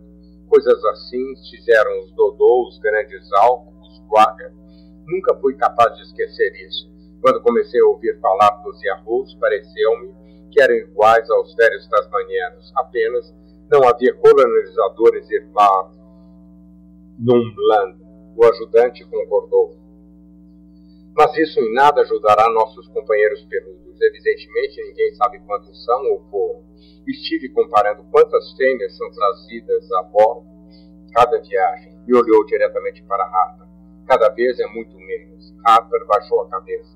O ajudante prosseguiu. O problema é que o planeta Barro não está sob a responsabilidade de ninguém. Se os Yahoos puderem ser utilizados no trabalho, seriam explorados de acordo com um sistema cuidadoso. Mas, como as coisas são, ninguém se incomoda. Se metade deles for morta a tiros, ninguém se importará. Se a tripulação das barcaças não se dá o trabalho de desembarcar as fêmeas, se porventura alguma delas permanece com vida quando os presos terminaram, mas simplesmente atiram-nas de 20 metros de altura. Ora, mais uma vez, ninguém se incomoda, Sr. Harper. Seus olhos se encontraram. Harper disse sim. Não que interprete mal. Tenho uma carreira aqui, não vou arriscá-la para salvar os pobres e arroz. Mas se o senhor está interessado, se julga ter alguma influência, se quer tentar alguma coisa, fez uma pausa.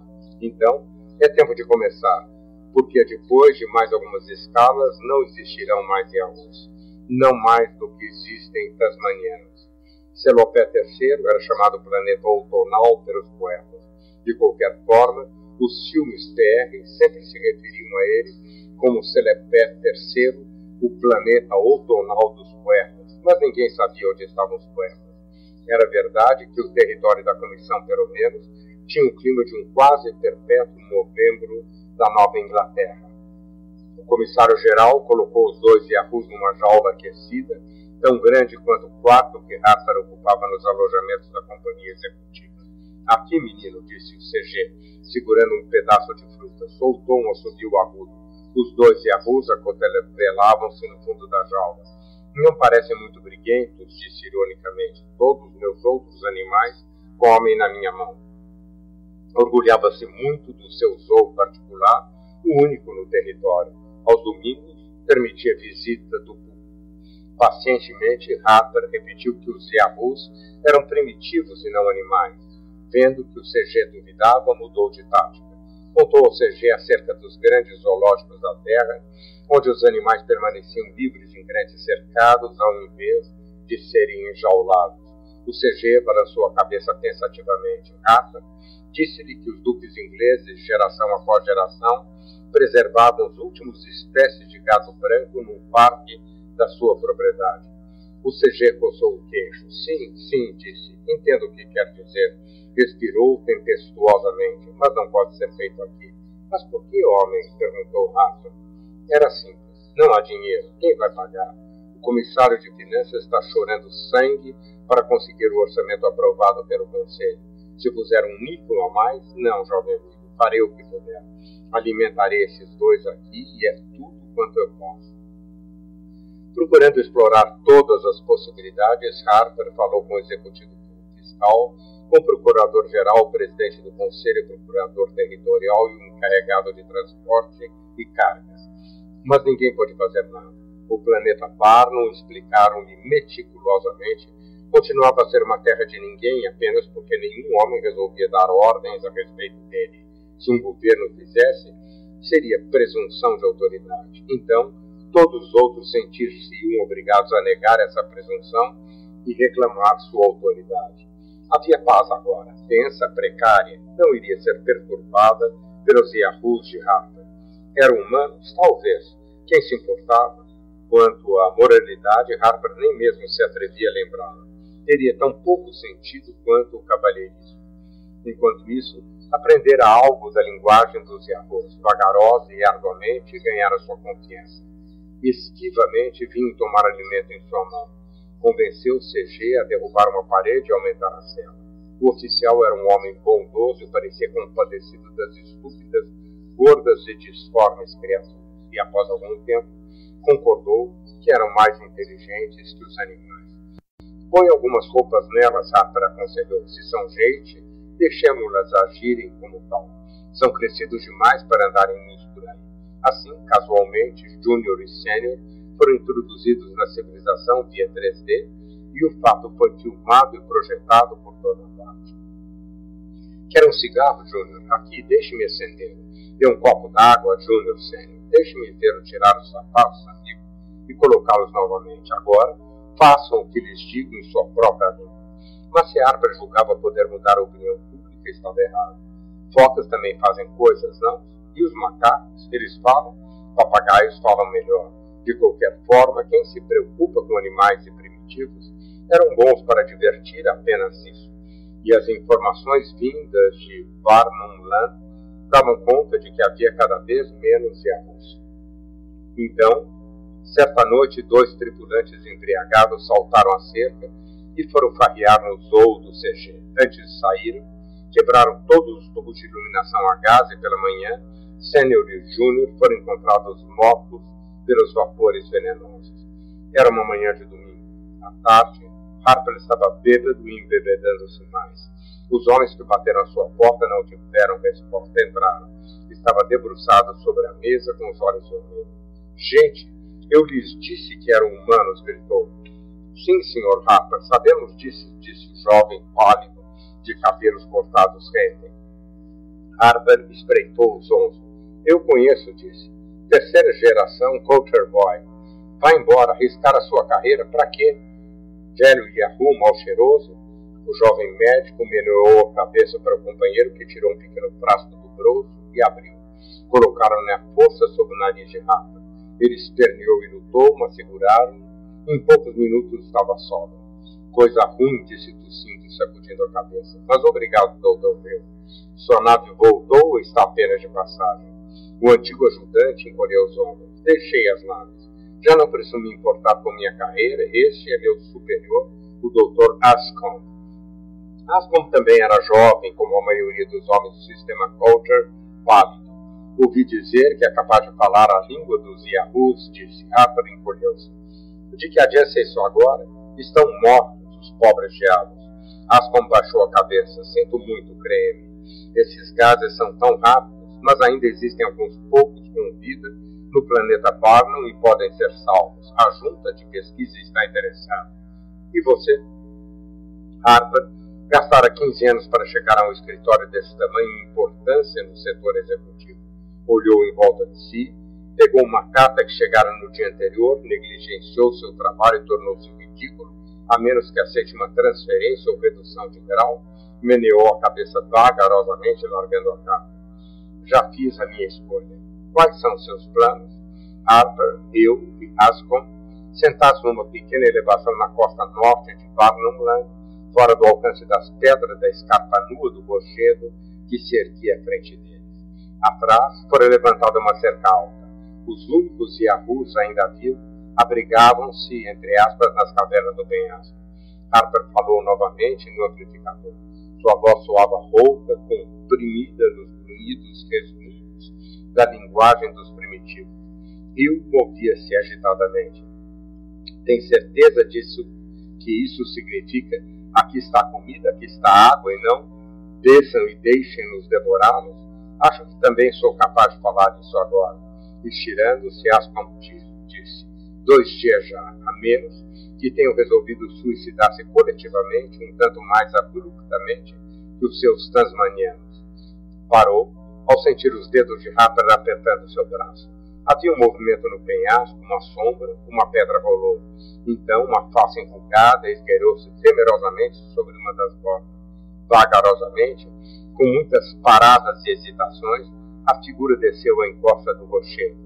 Era uma velha fêmea, os seios esbranquiçados e soltos balançavam contra o ventre dilatado quando ela saltou para o solo de costas para o penhasco encarou-os. Aqui está a comida, repetiu Harper brandamente. Aqui está a água. A velha suspirou, arrastou-se cansadamente pelo chão, parou, tremendo de medo, e atirou-se para a comida e para a água. A junta de pesquisa acaba de vencer o primeiro round, disse Hill. Ascom assentiu e apontou o dedo para o penhasco. Hill olhou. Outra cabeça surgira no rochedo, depois outra e outra. Olhavam. A velha levantou-se com água a escorrer pelo corpo. Virou-se para o penhasco. Desçam, gritou. Aqui é comida e água. Não morrer. Desçam, comam e bebam. Vagarosamente seus companheiros desceram. Era em número de trinta. Onde estão os outros? perguntou Rata. A velha ergueu para ele seus secos e enrugados seios. Onde estão aqueles que ficaram esgotados? Onde estão aqueles que seus irmãos levaram embora? A velha soltou um gemido agudo, depois silenciou. Chorava. Harper chorava também. Acho que vamos fazer tudo direito, disse Gil. Ascomb assentiu. Pena que haja tão poucos. Temia que fôssemos obrigados a usar gás. Iríamos perder vários deles. Nenhum dos dois chorava. Pela primeira vez desde que as naves tinham chegado ao seu planeta, os Yahoos caminhavam para a borda. Vieram hesitantes e temerosos, mas Harper disse-lhes que iriam para um novo lar, confiaram nele. Disse-lhes que iriam para um lugar de muita água e alimento. A viagem e o último primitivo adormeceram na luz opaca dos tubos de gás. Então cambaleou até sua cabine e adormeceu também. Dormiu 30 horas. Comeu alguma coisa ao acordar e desceu até o cubículo onde estavam os primitivos contraiu alface ao recordar sua visita ao cubículo da outra nave para pegar Sênior e o frenético alarido dos convictos esperando pelas férias. Na entrada da cela encontrou o Dr. Hill e cumprimentou. Temo que alguns Yahoos estejam doentes, disse Hill, mas o Dr. Ascombe está tratando deles. Os outros foram removidos para este compartimento. Harper fitou doentes. Como podem estar doentes? Como podem estar doentes? Do que? Quantos? Parece ser praga virulenta. 15 deles já estão contaminados. Você tomou cinco vacinas, não? Bem, não há com se preocupar. Harper sentiu um calafrio. Olhou para o pálido jovem médico. Ninguém pode entrar ou sair de qualquer sistema ou planeta sem ter tomado as cinco vacinas contra a praga virulenta, disse vigorosamente. Logo, se todos estamos imunizados como poderiam os primitivos ter apanhado, e porque justamente 15 deles, exatamente a metade. E quanto aos outros 15, Dr. Hill, serão um grupo de controle para a experiência? Na verdade, sim, Dr. Hill fitou calmamente. Espero que seja razoável. Esses eram os únicos termos com que a junta de pesquisa concordaria. Além do mais, nem mesmo os convictos se apresentariam voluntariamente para experiências com a praga virulenta. Harper balançou a cabeça. Sentia-se gelado. Após um momento, perguntou: Poderia Ascom fazer alguma coisa para salvá-los? Dr. Hill franziu as sobrancelhas. Talvez temos uma droga que queremos experimentar. De qualquer forma, os resultados fornecerão dados adicionais sobre o problema. É preciso pensar a longo prazo. Harper concordou. Penso que você tem razão. Ao meio-dia, todos os 15 estavam mortos. Bem, Haverá uma desproporção no novo grupo de controle, disse Ascom, 7 contra 8. Ainda assim, não está muito mal. Isso não pode ser evitado. Começamos amanhã. Praga virulenta novamente? perguntou Rafa. Ascom riu, balançaram a cabeça. Desidratação, disse o último. Depois disso, um novo tratamento para queimaduras que queremos experimentar. É uma vergonha pensar-se que os Yahoos foram mortos ano após ano, aos milhares, inutilmente. Como os doutor, viemos a tempo graças a você, Abram encarou. Quis custou dieta ipsos custodis? perguntou. Olharam-lhe com polido desânimo. Havia me esquecido, prosseguiu Harper. Os médicos já não estudam mais latim, não é? É um velho provérbio. Significa: quem guardará os guardas? Dão-me licença? Harper entrou no compartimento. Estou aqui disse ele, cumprimentando os quinze. Estamos vendo, responderam. A velha perguntou como iam seus irmãos e irmãs na outra caverna. Estão bem, já comeram, beberam? Sim. Então vamos dormir, disse Harper. A velha hesitou. Já é tempo, a luz ainda brilha, apontou para ela. Harper fitou-a. Estivera tão medrosa, mas confiara nele. Num repente, ele inclinou-se e beijou. Ela ficou boquiaberta. Agora a luz se apaga, disse Rafa. Tirou um sapato e despedaçou um tubo de gás. Arrastou-se nas trevas procurando o respirador e fechou. Depois sentou-se. Havia conduzidos para ali e se tinham de morrer era justo que compartilhassem do seu destino. Já não havia mais lugar para os desamparados ou para os que se importavam com eles. Agora vamos dormir, disse Rafa.